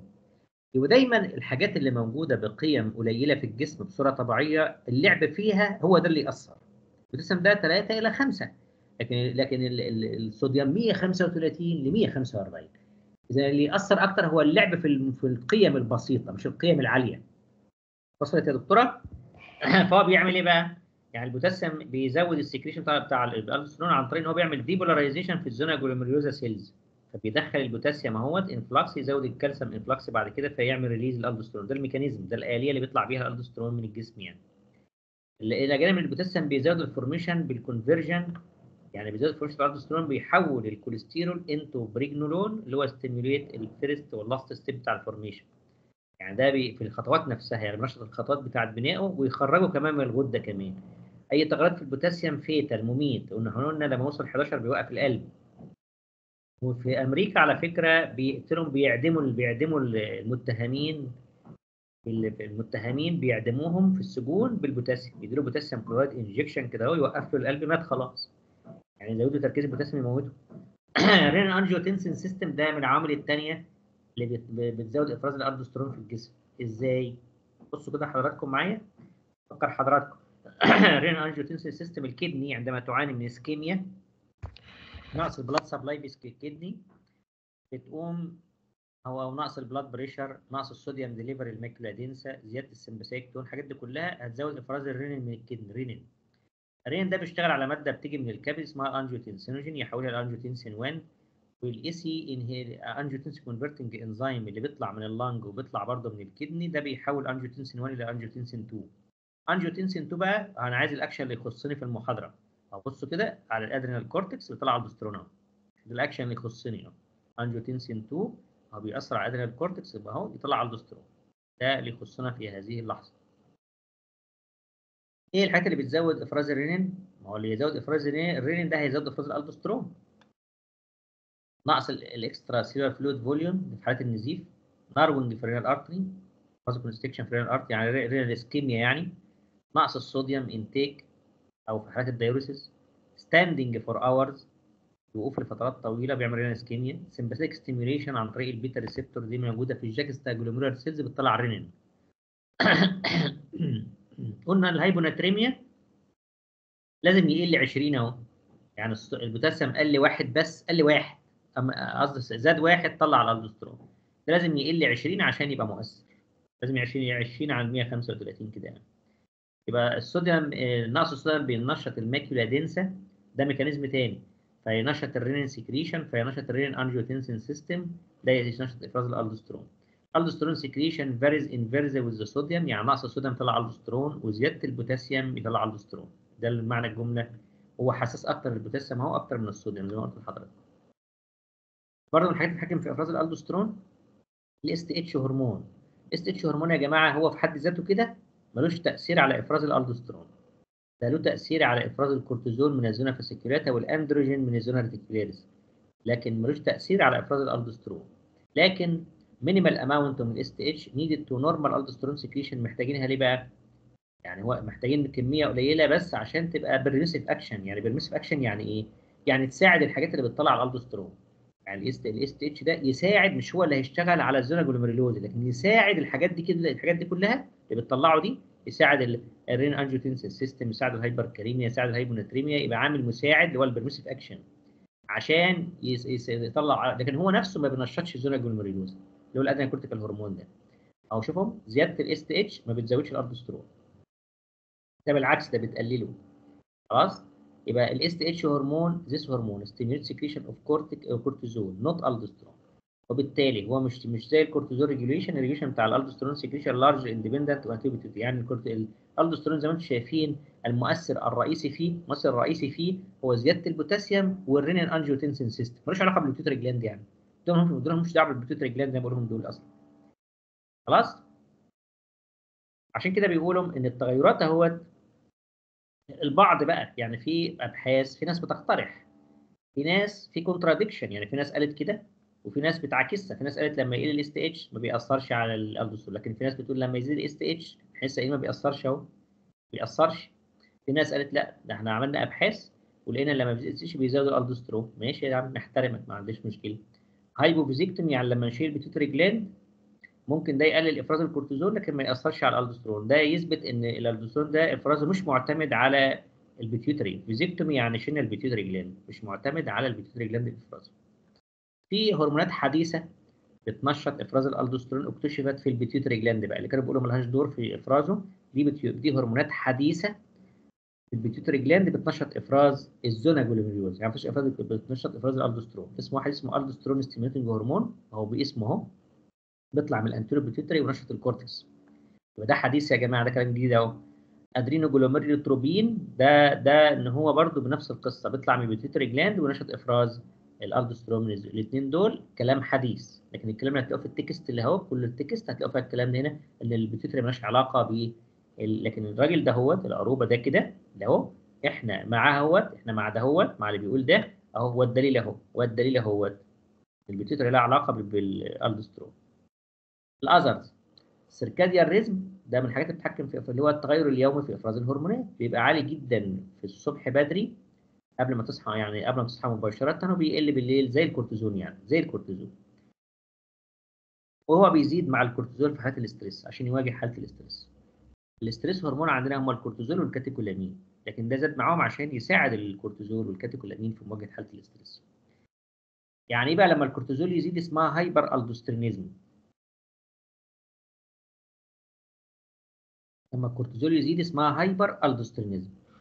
والله يا إما زايد نتيجة نشاط الغدة نفسها لل adrenal cortex ال zona glomerulosa يبقى اسمه Conn's disease الراجل اللي وصف المشكلة دي Conn's وسموه primary hyperaldosteronism لو زاد نتيجة حاجة ثانية غير الغدة يبقى اسمه secondary hyperaldosteronism glucocorticoid remediable treatment يعني remediable يعني إيه؟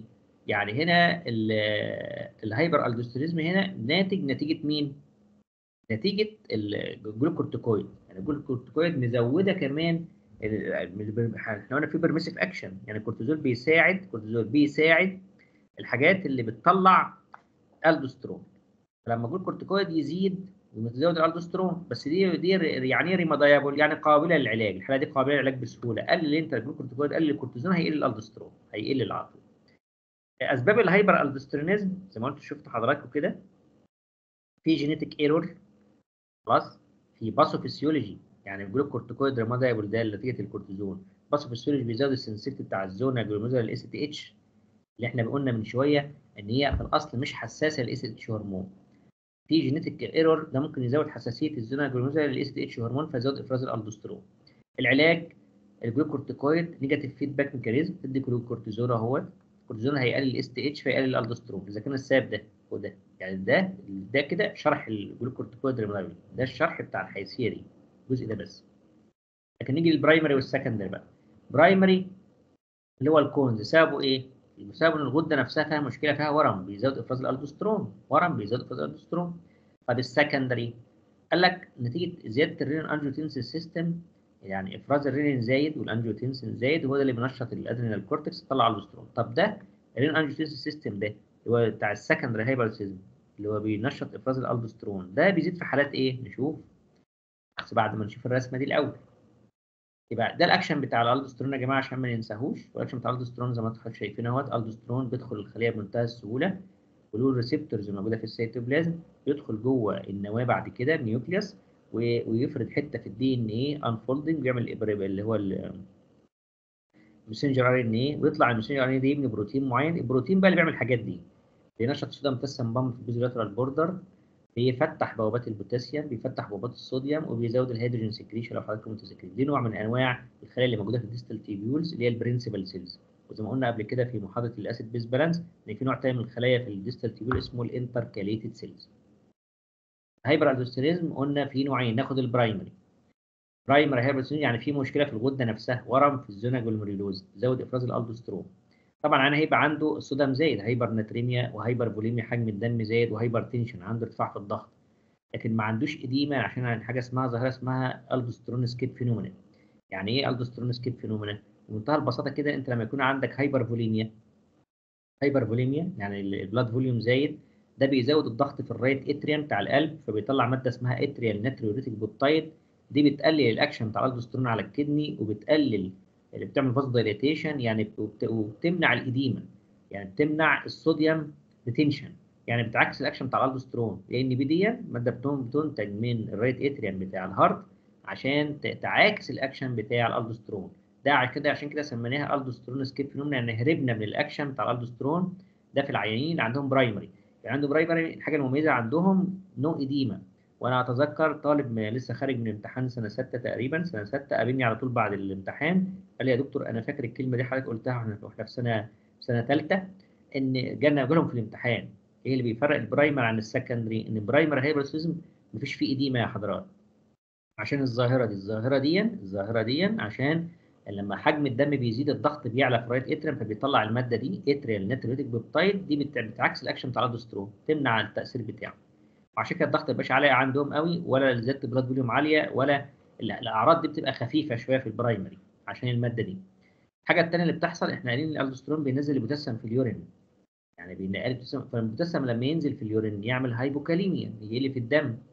لما يعمل البوتاسيوم لما لما يقل في الدم يعمل muscle weakness ضعف في العضلات عشان بيعمل hyperpolarization و renal damage حتى بيسموها hypokalemic nephropathy لأن كل ال enzymes بتاعت ال kidney محتاجة بوتاسيوم فلما يقل البوتاسيوم بت- بتختل وظائف الكلى فيحصل polyuria و proteinuria يعني شبه الفشل الكلوي. و glucose intolerance يعني المريض بيجيله سكر. عشان تعرفين حضراتكم إن البوتاسيوم ده عنصر مهم في إفراز الإنسولين من البنكرياس من ال islets of Langerhans اللي هي ال beta cells بتاع ال islets of Langerhans وبرضه بيحصل cardiac arrhythmia لخبطة في ضربات القلب نتيجة نقص البوتاسيوم. في أعراض نقص البوتاسيوم.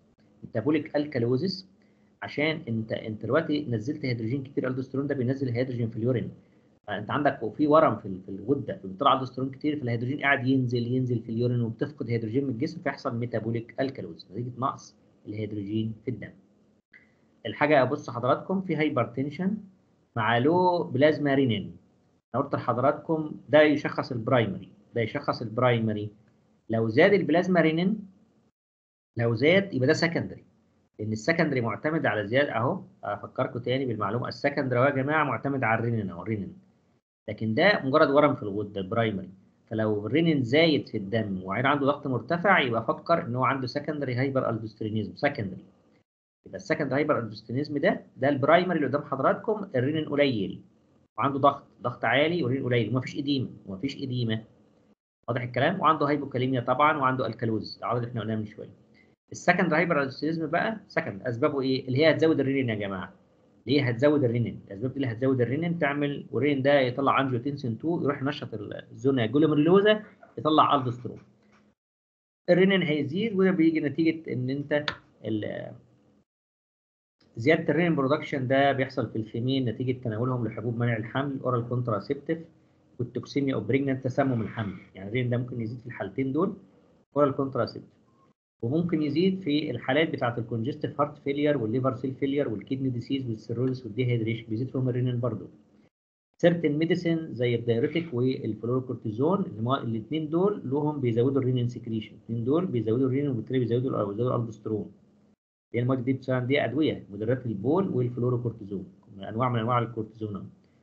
anything that decrease ال blood flow أي حاجة هتقلل ال blood flow ال kidney وهتقلل ضغط الدم أو هتقلل معدلات الصوديوم في الجسم. أي حاجة هت- هتزود الرينين تعمل secondary hyperaldosteronism ال renin ده الإنزيم طبعا اللي إحنا عارفينه وإحنا عارفين القصة بتاعته. بيطلع منين؟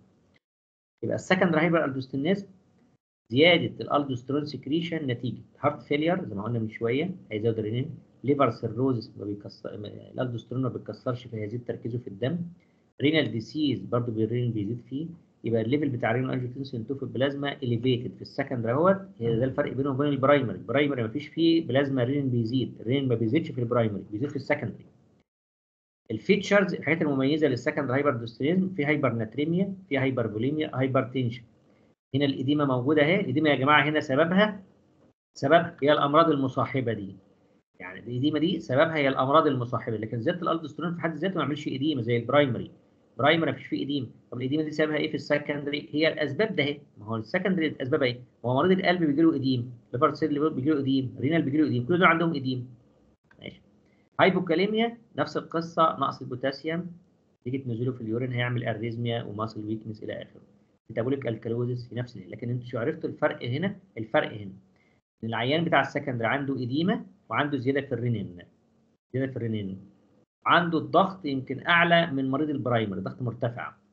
مريض ال primary عنده ضغط مرتفع وعنده edema وعنده hypokalemia وعنده metabolic alkalosis هذا ال Conn's primary وده ال secondary ال primary أهو شوف الفيصل في القضية اعمل تحليل الرينين في الدم. شوف تحليل الدم آه، شوف ال serum renin. لو لقيت ال serum renin عالي مع الأعراض اللي هي ما الأعراض كلها متشابهة لقيت الرينين عالي يبقى دي secondary لو لقيت الرينين قليل يبقى ده primary hyperaldosteronism ال hypo بقى لما يقل الالدوستيرون في الجسم الأعراض العكس بقى العكس. يعني الصوديوم هيقل في الدم hypovolemia حجم الدم هيقل الضغط هينخفض hyperkalemia البوتاسيوم هيزيد وده برضه هيعمل arrhythmia ويعمل weak myocardial contraction ممكن يوقف القلب في ال diastole هنا acidosis بقى بدل ال alkalosis انت هنا الهيدروجين ما بينزلش في ال urine في الحالة دي بيتراكم في الدم. polyuria عشان انت فقدت صوديوم كتير وكلورايد فبيشد وراهم مية في ال urine بال osmosis. ال Addison's disease ده نقص نشاط الغدة على بعضها بقى. يعني ال adrenal cortex لما يقل نشاطها المرض اسمه Addison's يبقى لما يقل نشاط ال adrenal cortex المرض اسمه Addison's primary اتفقنا يبقى المشكلة في الغدة نفسها. يبقى في مرض دمر هذه الغدة. في damage لل adrenal cortex يعني نتيجة بقى autoimmune disease نتيجة TB ضرر الضرر نتيجة cancer يعني مش كل السرطانات والأورام بتزود إفراز الألدوسترون. إحنا بن- بنقسم الأم- لو اورام في الغدة دي إلى شوف aldosterone secreting tumor يعني أورام بتفرز ألدوسترون. واشوف ويعني aldosterone non secreting tumor يعني هو في ورم ما بيفرزش ألدوسترون. يعني في أورام هتزود إفراز الألدوسترون في الغدة وفي أورام ما بتفرزش ألدوسترون.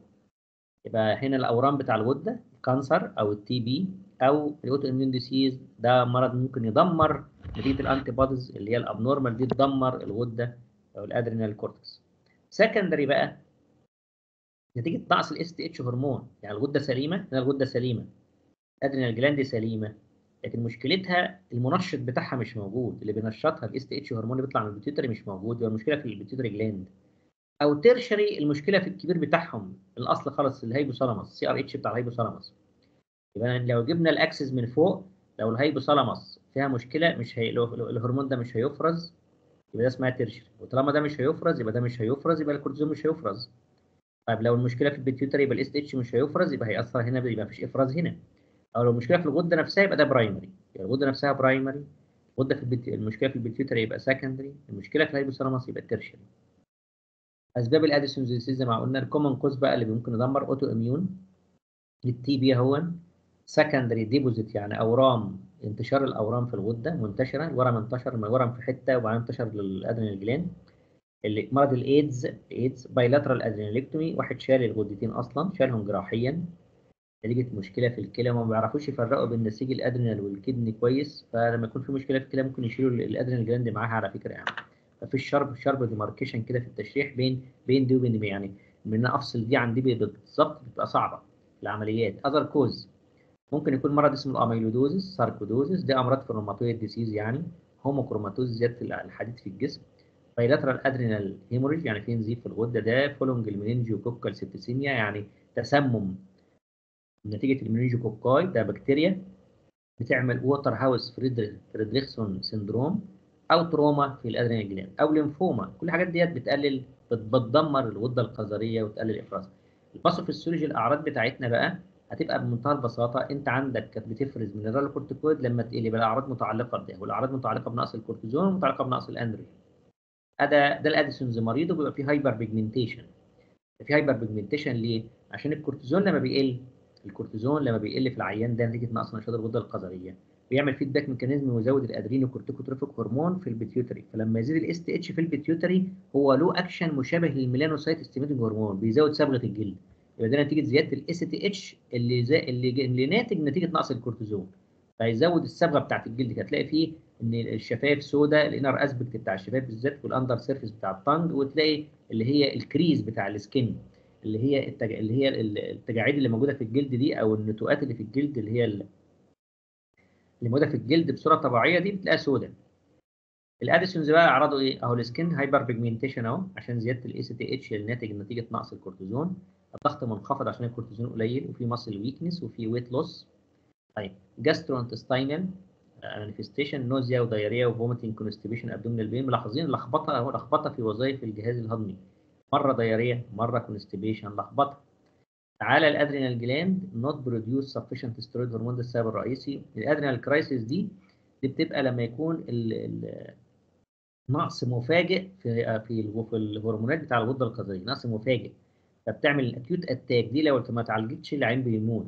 العيان بيجيله fever و syncope يعني ويفقد الوعي و convulsion بتشنج وهايبوجلايسيميا وهايبوناتريميا وسيفير فوميتنج ودايريا ده في ال Addisonian crisis دي ال acute attack بتاع ال Addison.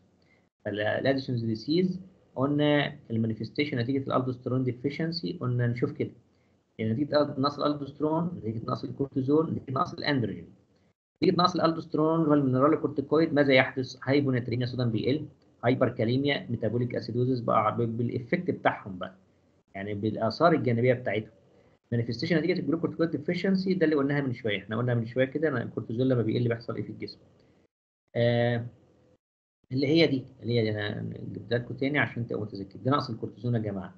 hypoglycemia fatigue gastrointestinal symptom anorexia nausea vomiting and so on water intoxication نقص ال resistance لل stress dark pigmentation عشان زيادة ال ACTH ال blood بيحصل عكس الأكشن بتاع الكورتيزول بقى هيزيد ال eosinophil وال lymphocyte ويقل ال neutrophil وال RBCs و hypothermia نقص انخفاض درجة الحرارة. ده نتيجة أعراض نقص الكورتيزول. ال Addison's ده before وده after يعني ده العيانة أهوت مفيش فيه حاجة العيانة إيه؟ للمريضه إيه؟ بعد كده حصل hyperpigmentation في ال skin أهوت وجسمها خس طبعا حصل نقص في نقص في الوزن زي ما أنتم شايفين. ده ال hyperpigmentation في ال skin. نيجي لنقص هرمونات ال adrenal gland. ال adrenal gland اللي هي اللي من ضمن الاديسون بيقل ال androgens اللي هو بتاع ال zona reticularis بقى الأندروجين هرمونات الذكورة. لما تقل في ال female لأن الأندروجين ده من الحاجات اللي هي بتنشط نخاع العظام عشان ينتج كرات دم حمراء فيجي لهم أنيميا. وبرضو ال pubic وال axillary hair وال- وال- وال clitoris بالتحديد دول معتمدين على الأندروجين في ال female. يعني ال pubic hair وال axillary hair وال clitoris النمو بتاعه معتمد على الأندروجين. فلما يقل الاندروجين يقل الحاجات دي يحصل ضمور في ال clitoris ويحصل نقص في ال axillary وال pubic hair في ال male ما عندوش effect واضح لأنه هو عنده اندروجين كافي من ال testis فبيغنيه عن اللي بيطلع من ال adrenal gland يجي يبقى ده في خمسة cardinal sign في خمس علامات أساسيين عشان تشخص مريض الاديسون اللي يبقى عنده السكر منخفض hypoglycemia عنده muscle weakness عنده pigmentation عنده الضغط منخفض عنده diarrhea هذا الخمس حاجات دول لو توفروا في عيان شك إن هو عنده اديسون شك إن هو عنده Addison's disease خمس حاجات دول أعراض دول لو توفروا في مريض يبقى يبقى عنده Addison's disease هذا ال hyperpigmentation أهو في ال skin وتحت أهو في الشفايف أهو. hyperpigmentation أهو ده ال hyperpigmentation أهو الجلد بدأ يبقى غامق أهو. هذا ال hyperpigmentation واضح أهوت يعني لون الجلد ال- بيسمر ويغمق اهوت هو دي ال crease اللي بقول لكم عليها دي ال crease أهيت. ال crease دي الخطوط دي بتبقى سوداء سوداء في العيان. الخطوط دي بتبقى سوداء في هذا المريض. الخطوط دي كده ال crease بتاعت ال skin دي كده هي النتوءات اللي موجودة في جسمه دي بتبقى سوداء ده في شوفهم ال mucosa حتى بتاع ال mouth من جوه تبص في بق العين من جوه كده تلاقي أسود أهو. mucosa سوداء أهي. ده الاديسونز وبيجي له نوزيا وفوميتنج بقى وديارية وويت لوس بيخس. وفي ال crisis بيموت على طول. ال acute اللي هي قلنا عليها Addisonian crisis دي مميتة. يعني الحالة دي Addisonian crisis دي ال acute attack بتاع الأديسون دي مميتة fatal و بيحصل collapse في ال circulation collapse يعني الضغط بينخفض جدا في الدوره الدموية ويعمل shock والجلوكوز بيقل في الدم جدا. و hyperkalemia severe hyperkalemia العلاج دي حاله طوارئ يا جماعة ال treatment اديله كورتيزول في الوريد intravenous و sodium chloride محاليل. محاليل اللي هو اللي هو saline يعني. ده محلول ال saline محلول الملح نركب له ونديله كورتيزون في الوريد. دي أعراض ال Addisonian crisis بيبقى bronze pigmentation في ال skin hypoglycemia postural hypotension انخفاض الضغط يعني يجي يقف يجي يغمى عليه ما يعرفش يقف disturbance في. في, ال- في ال distribution بتاع ال body hair توزيع الشعر gastrointestinal disturbance diarrhea و constipation لخبطة بس هنا common في ال crisis بيبقى diarrhea weight loss weakness وال crisis profound fatigue يعني إرهاق شديد وجفاف و vascular collapse الضغط بينخفض renal shutdown يعني فشل كلوي حاد ونقص الصوديوم في الجسم وزيادة البوتاسيوم في الجسم. Addisonian Addison's disease إيه إيه يبقى adrenal دي يبقى ال deficiency يبقى ال adrenal deficiency اسمه Addison's disease.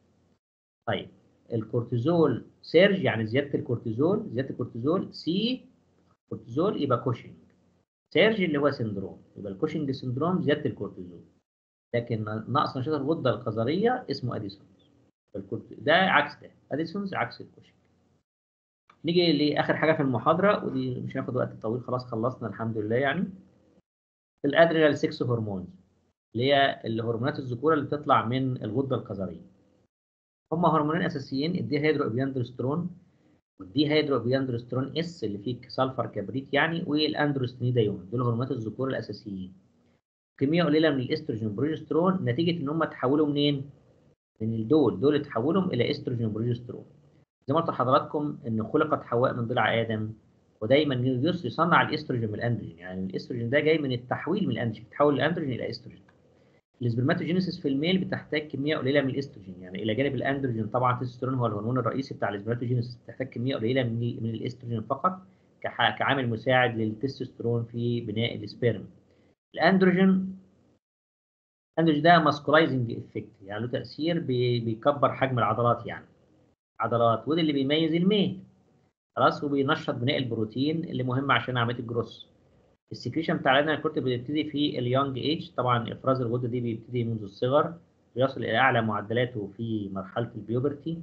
بعد كده بيقل لمعدلات بسيطة إفراز اللي هو الهرمونات الذكورة ديت مع ال old age هذا التستوستيرون اهو يا جماعة هذا ال androstenedione أهو.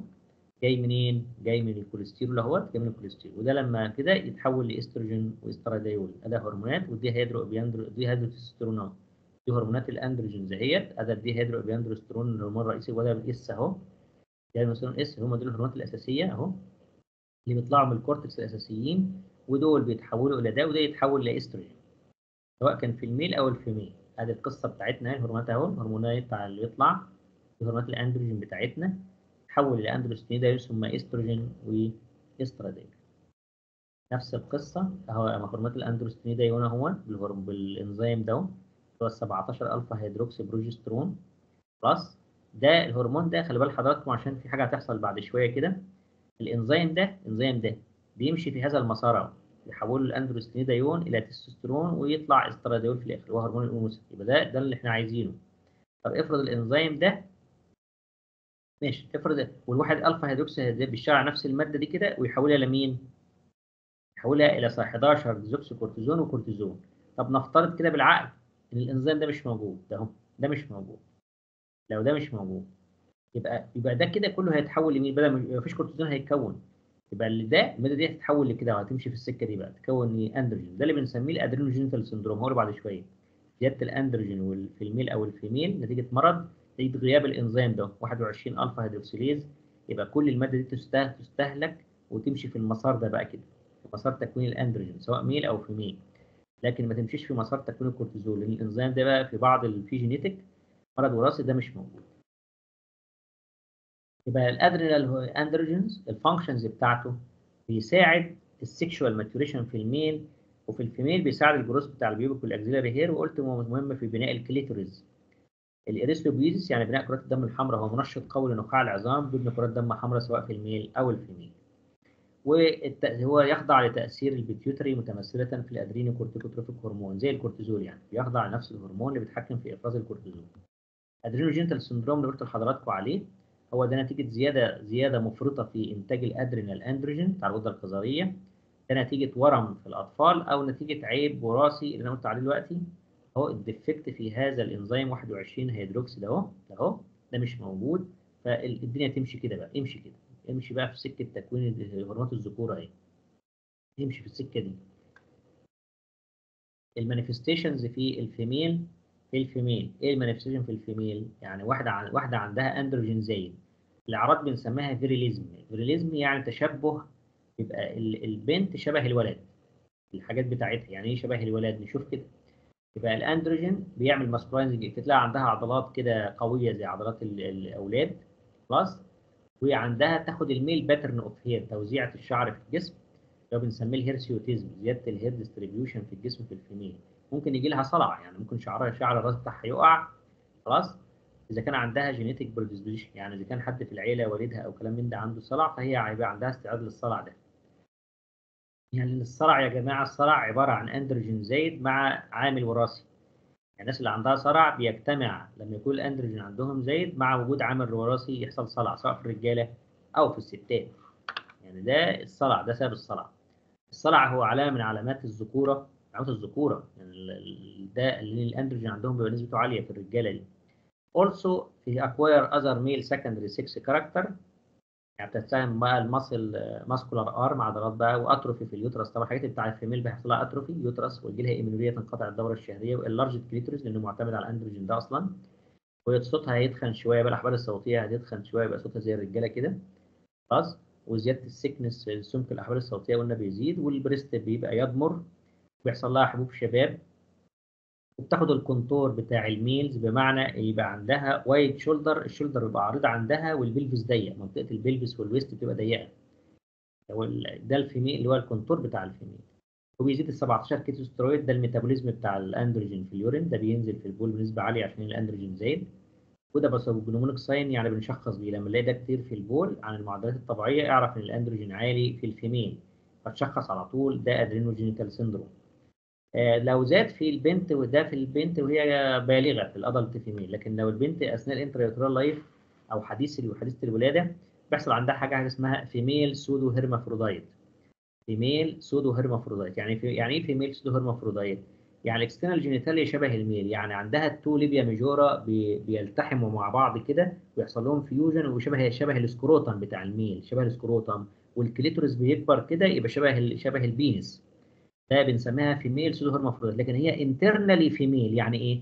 ال external genitalia شبه. شبه ال male لكن ال internal عندها ovary وعندها uterus عادي خالص لكن الناحية الخارجية بتبقى شبه ال male يعني عندها ال clitoris بيكبر شبه ال penis وعندها ال labia minora وال labia majora بيلتحموا مع بعض يبقوا شبه ال scrotum طيب. ال true hermaphrodite بقى عندها الاثنين على فكرة.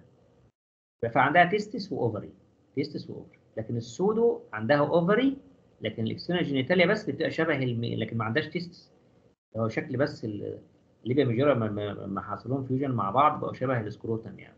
دي بنت بالمناسبة ده بنت مش ولد. so دي صورة بنت وليست ولد. دي بنت أهوت عندها pseudohermaphrodite شوفوا الشعر هنا حصل حاجة اسمها temporal ده بداية الصلع.